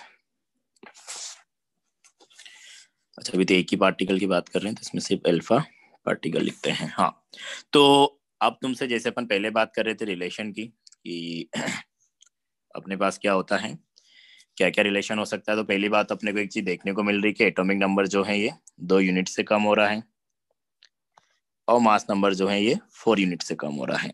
अब एन बाई पी बड़ा है, कम हुआ है तो तुम इसको डिवाइड करके देख सकते हो कि ए बाई जेड यहाँ पे मतलब वो निकालना पड़ेगा नंबर ऑफ़ न्यूट्रॉन्स तो कितना आएगा? A minus Z divided by protons Z यहाँ पे भी इसी तरीके से निकालो तो अपने पास मास नंबर यहाँ पे कितना ए माइनस फोर और एटॉमिक नंबर यहाँ पे कितना A minus Z minus two तो ये अपने पास नंबर ऑफ़ न्यूट्रॉन्स होगा divided by Z minus two तो ये एन बाई पी रेशियो यहाँ पे रहेगा। ये एन बाई पी रेशियो यहाँ पे रहेगा और इन दोनों को अगर कंपेयर करोगे तो यही ज़्यादा आएगा। तो ये है अपने पास। बाकी अगर अपन देखें तो ये बता दो रिलेशन क्या रहेगा इनमें? कोई सोच के बता सकता है? कि parent and daughter elements are जो भी है, बताओ। And position of position of daughter element daughter element shift towards left में जाएगा विद एटॉमिक नंबर क्या हो रहा है? कम हो रहा है। Left side left side by two position. By two position. Iso isodiaphers isodiaphers बन जाएगा। सर वही बता रहा था सर मैं भी। नहीं नहीं समझ में आ रहा है बिल्कुल अच्छे से। वही बता रहे हो तुम। तो ये आइसोडायफर्स होते हैं। आइसोडायफर्स अपन बोल रहे थे कि न्यूट्रॉन्स माइनस प्रोटॉन्स अपने पास क्या रहेगा? उनमें सेम रहेगा। तो यहाँ पे अगर न्यूट्रॉन्स माइनस प्रोटॉन करोगे तो यहाँ पे तो क्या आ जाएगा? ए माइनस जेड आ जाएगा। अच्छा न्यूट्रॉन्स तो अपने पास आ गए। ए माइनस जेड प्रोटोन अपने पास हो गए क्या? जेड तो ये अपने पास आ जाएगा ए माइनस टू जेड तो ए माइनस टू जेड अपने पास सेम होता है। और यहाँ पे अगर करोगे तो न्यूट्रॉन्स का नंबर जैसे अपन ने अभी निकाला था कि mass number minus atomic number तो ये अपने पास हो जाएगा प्लस टू, माइनस करोगे तो। और माइनस प्रोटॉन्स का नंबर तो न्यूट्रॉन्स माइनस प्रोटॉन्स करोगे तो अगेन फिर हो जाएगा ये प्लस टू। तो इस तरीके से आएगा। तो देख सकते हैं यहाँ पे कि माइनस फोर और ये बन जाएगा प्लस फोर तो ये वापस निकल के हुआ जाएगा ए माइनस टू जेड। तो न्यूट्रॉन्स माइनस प्रोटॉन्स का नंबर क्या होता है? सेम होता है मतलब ये क्या है? आइसो डायोफर्स तो ध्यान रखना है। रिलेशन दोनों में और किधर शिफ्ट होगा, ये अपन ने बात करी ली तो ये तो दिख जाता है इजीली कि एटॉमिक नंबर में जो है, क्या चेंज आया है, उसके हिसाब से अपन बता सकते हैं, ठीक है? तो ये था अपने पास अल्फ़ा पार्टिकल से रिलेटेड तो इसमें इतना ध्यान रखना होता है कि क्या चेंज हुआ है और उसके बाद कितना शिफ्ट पीरियड टेबल में हो रहा है और दोनों में अगर रिलेशन है तो क्या रिलेशन है, उसके बारे में अपन बात करते हैं, ठीक है? तो सेकंड अपने पास जो रहेगा यहाँ पे सेकंड अपने पास आ जाएगा क्या? अल्फ़ा हो गया। Beta positive that is positron तो पॉजिट्रॉन का भी डीके होता है, उसके बारे में अपन बात कर लेते हैं। तो पॉजिट्रॉन बेसिकली कुछ नहीं होता है इलेक्ट्रॉन जैसा ही पार्टिकल होता है मतलब मास वाइज इलेक्ट्रॉन होता है। इलेक्ट्रॉन जितना ही होता है मास उसका, बस चार्ज अपोजिट होता है। इलेक्ट्रॉन का चार्ज माइनस वन होता है, इसका प्लस वन होता है, इसलिए अपन उसको नाम दे देते हैं पॉजिट्रॉन और जैसे बीटा पार्टिकल के साथ एंटी न्यूट्रिनो निकल रहा था, यहाँ पे न्यूट्रिनो निकलता है। तो इसकी अपन बात करेंगे। हाँ बीटा पॉजिटिव डीके तो बीटा पॉजिटिव डीके अपने पास, यहाँ पे बेसिकली अगर देखे एक्चुअल में तो वही हो रहा है कि प्रोटॉन जो है वो न्यूट्रॉन में कन्वर्ट हो रहा है। तो प्रोटॉन का न्यूट्रॉन में कन्वर्जन अगर अपन देखेंगे तो ये अपने पास प्रोटॉन है मास में वन का कंट्रीब्यूशन चार्ज में वन का कंट्रीब्यूशन और अगर न्यूट्रॉन बनेगा तो मास में वन का कंट्रीब्यूशन और चार्ज में ज़ीरो का कंट्रीब्यूशन तो अपने पास जो पार्टिकल आएगा वो ऐसा आएगा कि उसके ऊपर चार्ज क्या रहे पॉजिटिव रहे और मास अपने पास क्या रहे ज़ीरो रहे। तो ऐसा जो पार्टिकल आता है उसको अपन पॉजिट्रॉन बोलते हैं तो उसको ऐसे भी रिप्रेजेंट कर देते हैं और बीटा प्लस से भी रिप्रेजेंट कर देते हैं। तो ये है अपने पास। तो इसी को अपन पॉजिट्रॉन बोलते हैं। इलेक्ट्रॉन जैसा ही दिखता है, बस चार्ज का फ़र्क होता है कि इलेक्ट्रॉन पे अपने पास जो है नेगेटिव चार्ज होता है, इस पे पॉजिटिव चार्ज होता है। तो मास वगैरह सब लगभग सेम होते हैं, ठीक है? तो बीटा पॉजिटिव पार्टिकल आएगा या अपने पास क्या पॉजिट्रॉन आएगा।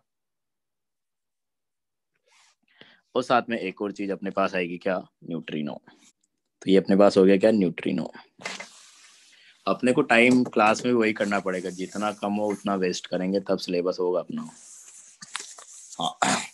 तो ये है अपने पास। इस तरीके से प्रोटॉन्स का न्यूट्रॉन में कन्वर्जन होगा। तो प्रोटॉन न्यूट्रॉन में कन्वर्ट हुआ तो न्यूट्रॉन तो अंदर ही रह जाएगा। बाहर अपने पास क्या निकलेगा? पॉजिट्रॉन निकलेगा।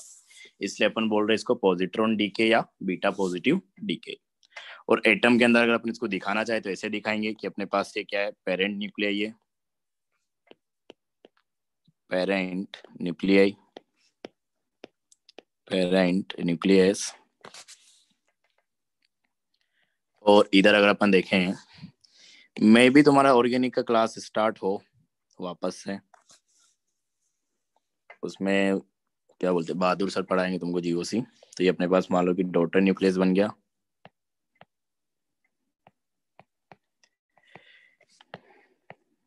डॉटर न्यूक्लियस ठीक है? तो यहाँ पे अपन बोल रहे हैं कि अपने पास जो पार्टिकल निकल रहा है, वो क्या निकल रहा है? पॉजिट्रॉन निकल रहा है तो उस पर charge mass zero charge plus one है, और साथ में न्यूट्रिनो तो बैलेंस करोगे तो अपने पास क्या आ जाएगा? कि यहाँ पे चार्ज जेड का कंट्रीब्यूशन था तो यहाँ पे अपने पास आएगा क्या? जेड माइनस वन और ऊपर मास तो सेम ही रहेगा तो इसका भी क्या रहेगा? ए रहेगा। तो ये अपने पास बनेगा। तो इसमें भी देख सकते हो कि पेरेंट और डॉटर न्यूक्लियस जो है ये पेरेंट और डॉटर एलिमेंट है दोनों क्या रहेंगे? आइसो बार रहेंगे। यहाँ पे एटॉमिक नंबर जो है एक से कम हुआ है तो ये किधर चला जाएगा? लेफ़्ट डायरेक्शन में चला जाएगा। तो वही सब चीज़ें लिख सकते हैं अपन। तो ये है अपने पास कि यहाँ पे भी अपन वैसे बोल सकते हैं कि parent and daughter nucleus are isobar रहेंगे। मास नंबर दोनों का सेम है। और यहाँ पे अभी अपने पास क्या हो रहा है? एटॉमिक नंबर जो है ये एक यूनिट से कम हो रहा है। तो एटॉमिक नंबर अगर कम हो रहा है तो अपने पास ये लेफ़्ट डायरेक्शन में जाएगा, क्योंकि पहले 92 था तो अब 91 हो जाएगा। तो position of daughter element shift in right direction sorry left में जाएगा अभी कम हो रहा है तो left side by one position in periodic table clear है गए सही है ना? आवाज़ आ रहा है तुम लोगों को? यस सर चलो तो ये आवाज़ करा दिया करो कभी कभी कि हाँ हम ज़िंदा हैं।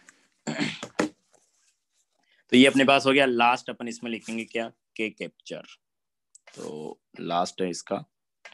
सेकंड अपने पास ये हो गया beta positive decay third लिखो इसमें.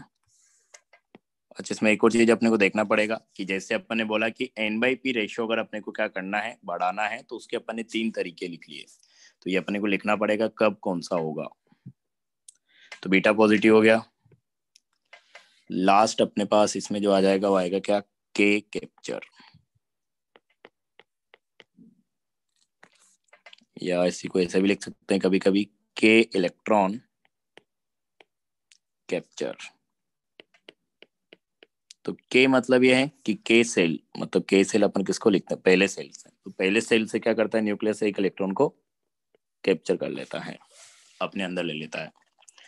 ठीक है? तो इसमें देखो ऐसा कुछ समझा, ऐसा कुछ बोलना चाह रहे अपन कि अपने पास ये न्यूक्लियस है पॉजिटिवली चार्ज्ड और ये अपने पास क्या है? इसमें पहला सेल रहेगा। ये अपने पास दूसरा सेल रहेगा और ये अपने पास तीसरा सेल रहेगा, इस तरीके से चलता रहेगा, ठीक है? तो ये अपने पास फ़र्स्ट सेल तो N equal to one second shell N equal to two third shell N equal to three first shell मतलब के सेल सेकेंड सेल मतलब एल और थर्ड सेल मतलब अपने पास एम तो के एल एम इस तरीके से, ठीक है? तो अपने पास बेसिकली क्या होता है, कुछ एलिमेंट्स में क्या होता है कि अपने पास जो है, ये के सेल है फ़र्स्ट सेल है, इसमें कोई इलेक्ट्रॉन तो रहेगा ही।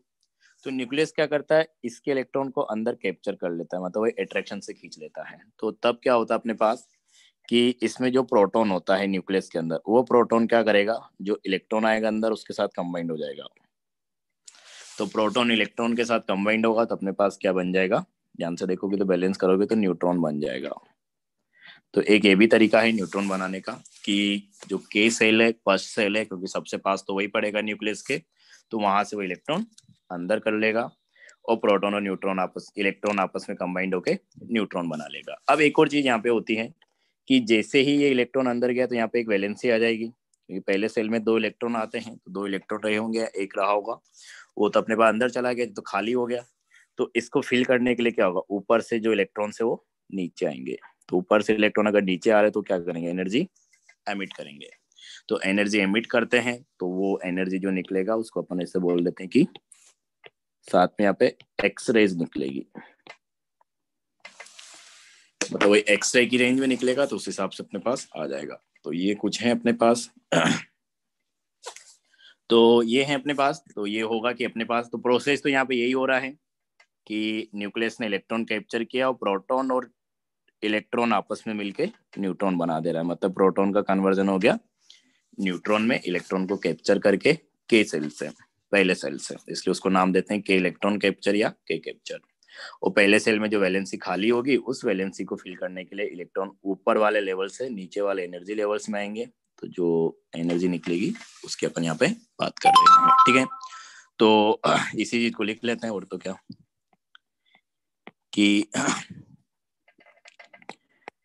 to fill the valency to fill the valency created due to K capture due to due to K electron capture due to K electron capture in a transition in a transition inner transition मतलब वही high energy level से electron lower में आएँगे। Inner transition will occur will occur and emit x-ray as radiation, and emit and emit x-ray as radiation.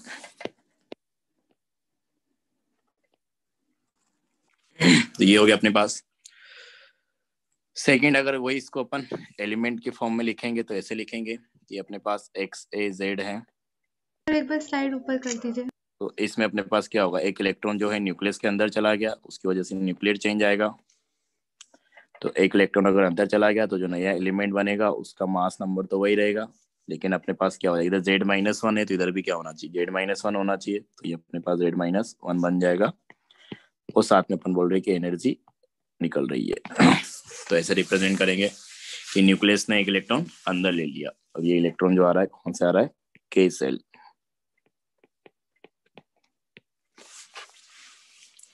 तो इस तरीके से यही बन जाएगा। इन दोनों में रिलेशन देखोगे तो यहाँ पे भी सेम ही आएगा। आइसो बार तो ये अपने पास क्या बन जाएगा? आइसो बार तो यहाँ पे भी लिख लो वही चीज़। आइसो बार बनेंगे और रिलेशन भी सेम रहेगा कि अपने पास क्या होगा? लेफ़्ट साइड में क्या होगा? वन पोजिशन से शिफ्ट होगा, क्योंकि यहाँ पे एटोमिक नंबर जो है वन यूनिट से कम हो जा रहा है। मतलब यहाँ पे जैसे पहले 44 होगा तो अब अपने पास कितना बन जाएगा? एक से कम हो रहा है तो 43 तो इस तरीके से अपने पास आ जाएगा। कि पेरेंट और डॉटर न्यूक्लियस अपने पास क्या रहेंगे? आइसो बार रहेंगे। और अगर अपन पेरियोडिक टेबल में बात करें तो लेफ़्ट डायरेक्शन में एक पोजीशन से शिफ्ट हो जाएगा। ठीक है तो ये के कैप्चर था?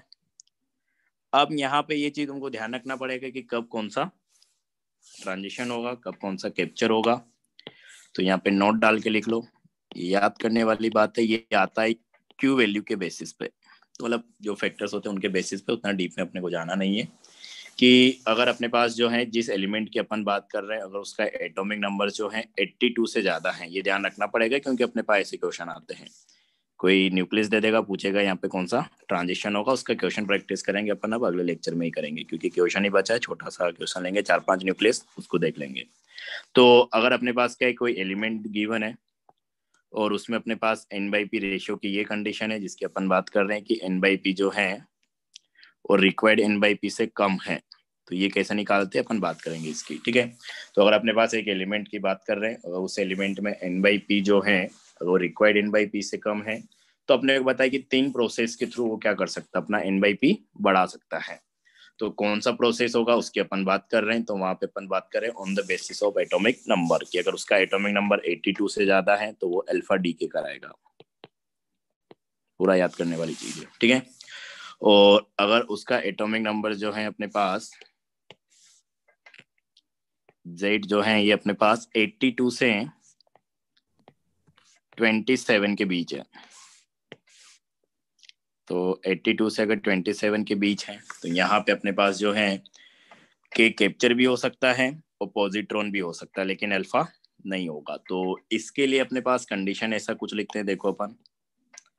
जिसको अपन अगले पेज में लिख लेंगे, यहाँ पे और चीज़ें लिखनी पड़ेगी। दूसरा मैं लिख देता हूँ कि अपने पास जेड अगर क्या है 27 से कम है तो अगर 27 से अपने पास कम है, तब भी पिक्स है कि अपने पास क्या होगा? Only beta positive decay positron decay होगा। तो ऐसा एलिमेंट तुमको गिवन है जिसमें एन बाई पी अपने पास जो है, अपन बात कर रहे हैं एन बाई पी रेशियो जो है एन बाई पी रिक्वायर्ड से कम है। तो इसके लिए अपन ने लिखा है कि अपने पास क्या है? तीन प्रोसेस के थ्रू एन बाई पी को बढ़ाया जा सकता है तो कब कौन सा होगा?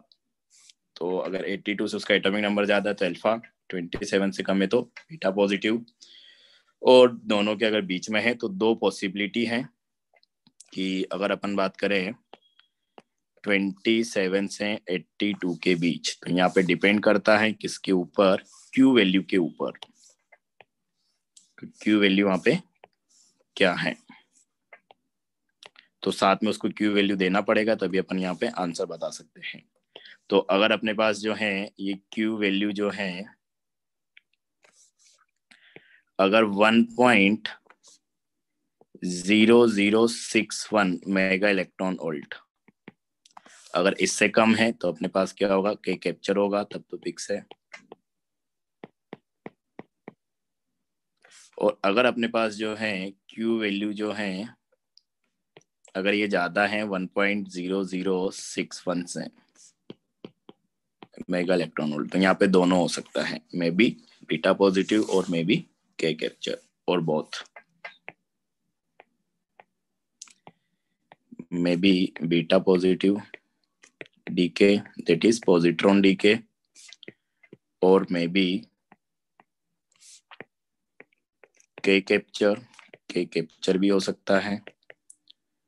और बोथ दोनों भी साइमल्टेनियसली हो सकते हैं कि कुछ न्यूक्लियस क्या कराए? बीटा पॉजिटिव डीके कराए, कुछ के कैप्चर कराए, इस तरीके से। क्योंकि एक न्यूक्लियस तो नहीं, रहेगा नहीं। काफ़ी सारे न्यूक्लियस रहेंगे सैंपल में तो तो दोनों टाइप के भी हो सकते हैं। ठीक है तो पूरा याद करना पड़ेगा इस तरीके से। ठीक है, तुम कुछ ऐसा समझ सकते हो क्यू वैल्यू अपने पास क्या एक तरीके से जो एनर्जी रिलीज़ होती है। तो बेसिकली इस प्रोसेस को होने के लिए कुछ एनर्जी चाहिए होती होगी। जो क्यू वैल्यू को ही यूज़ कर लेता है वो। तो अगर क्यू वैल्यू अपने पास कम रहेगी तो सिर्फ़ के कैप्चर हो पाता है बीटा पॉजिटिव डी के नहीं हो पाता है। अगर इससे ज़्यादा है तो फिर दोनों की पॉसिबिलिटी है, ऐसा कुछ रिलेट करके कर सकते हो, ठीक है? तो ये इस तरीके से हमको पूरा याद रखना पड़ेगा कि कब कौन सा हो रहा है। केस थ्री लास्ट लिखो। तो केस थ्री में अपने पास, जैसे मान लो कि तुमसे बोल दे कि अपने पास एक न्यूक्लियस है, जिसका एन बाई पी जो आ रहा है, वो रिक्वायर्ड एन बाई पी के बराबर ही है। तब अगर तुमसे पूछे कि वहाँ पे किस तरीके का चेंज होगा। रिक्वायर्ड एन बाई पी से बराबर है। तो वहाँ पे पता है अपने को कि जितना उसमें न्यूट्रॉन्स और प्रोटॉन्स का रेशियो होना चाहिए था, उतना ही था। तो यहाँ पे ऐसा कुछ नहीं होगा। यहाँ पे सिर्फ़ अगर कोई चेंज हो सकता है तो सिर्फ़ एनर्जी का चेंज हो सकता है कि अपने पास अभी अभी उसने क्या बनाया होगा? स्टेबल न्यूक्लियस बनाया होगा। और जब अपने पास प्रोडक्ट बनता है मतलब स्टेबल न्यूक्लियस बनता है तो उसके साथ कुछ एक्स्ट्रा एनर्जी एसोसिएट होता है तो उसी एनर्जी को वो रेडिएट कर देगा। मतलब वहाँ पे गामा रेडिएशन हो सकता है, इसके अलावा कुछ नहीं होगा कि जैसे अपने पास ये है एक्स ए जेड तो अपने पास मान लो कि जैसे अपन ने बोला था कि रेडियो एक्टिव में काफ़ी सारी रिएक्शंस क्या होती है? साइमल्टेनियसली चलती, पूरा चेन रिएक्शन चलती है। तो ये अपने पास स्टेबल न्यूक्लियस बन गया। तो जब ये बना होगा तो हो सकता है इसके साथ कुछ एक्स्ट्रा एनर्जी एसोसिएट हो तो ये उस एक्स्ट्रा एनर्जी को एमिट कर देगा गामा रेडिएशन की फॉर्म में। तो जब भी अगर ऐसा क्वेश्चन पूछा जाए कि कौन सा रेडिएशन होगा, किस तरीके का पार्टिकल्स डी के होगा, और तुमको जो एन बाई पी है एलिमेंट का, अगर वो रिक्वायर्ड एन बाई पी के बराबर आ जा रहा है तो मतलब वहाँ पे सिर्फ़ एक ही पॉसिबिलिटी है कि वो अगर उसके पास ज़्यादा एनर्जी एसोसिएट है तो उस एनर्जी को गामा रेडिएशन की फॉर्म में एमिट कर दे। इसके अलावा कोई और दूसरा तरीका वहाँ पे कुछ और होगा नहीं, ठीक है? तो ये था लास्ट तो ठीक है, इतना ही है। तो अभी तो अपने पास क्या रहेगा कि जो पेरेंट एलिमेंट है, वो डॉटर एलिमेंट है, दोनों क्या है सेम ही है, इसमें तो कोई फ़र्क है ही नहीं। अगर इसमें वैसे डिफाइन करना चाहो तो वैसे हैं तो वो एक ही तो डिफाइन करने की वैसे कोई ज़रूरत भी नहीं है वैसे तो। ठीक है तो ये है अपने पास। तो ये था अपने पास न्यूक्लियर केमिस्ट्री का चैप्टर इसमें अपने पास एक क्वेश्चन है, उसको बाद में कर लेंगे, क्योंकि टाइम अपने पास काफ़ी कम बचा है।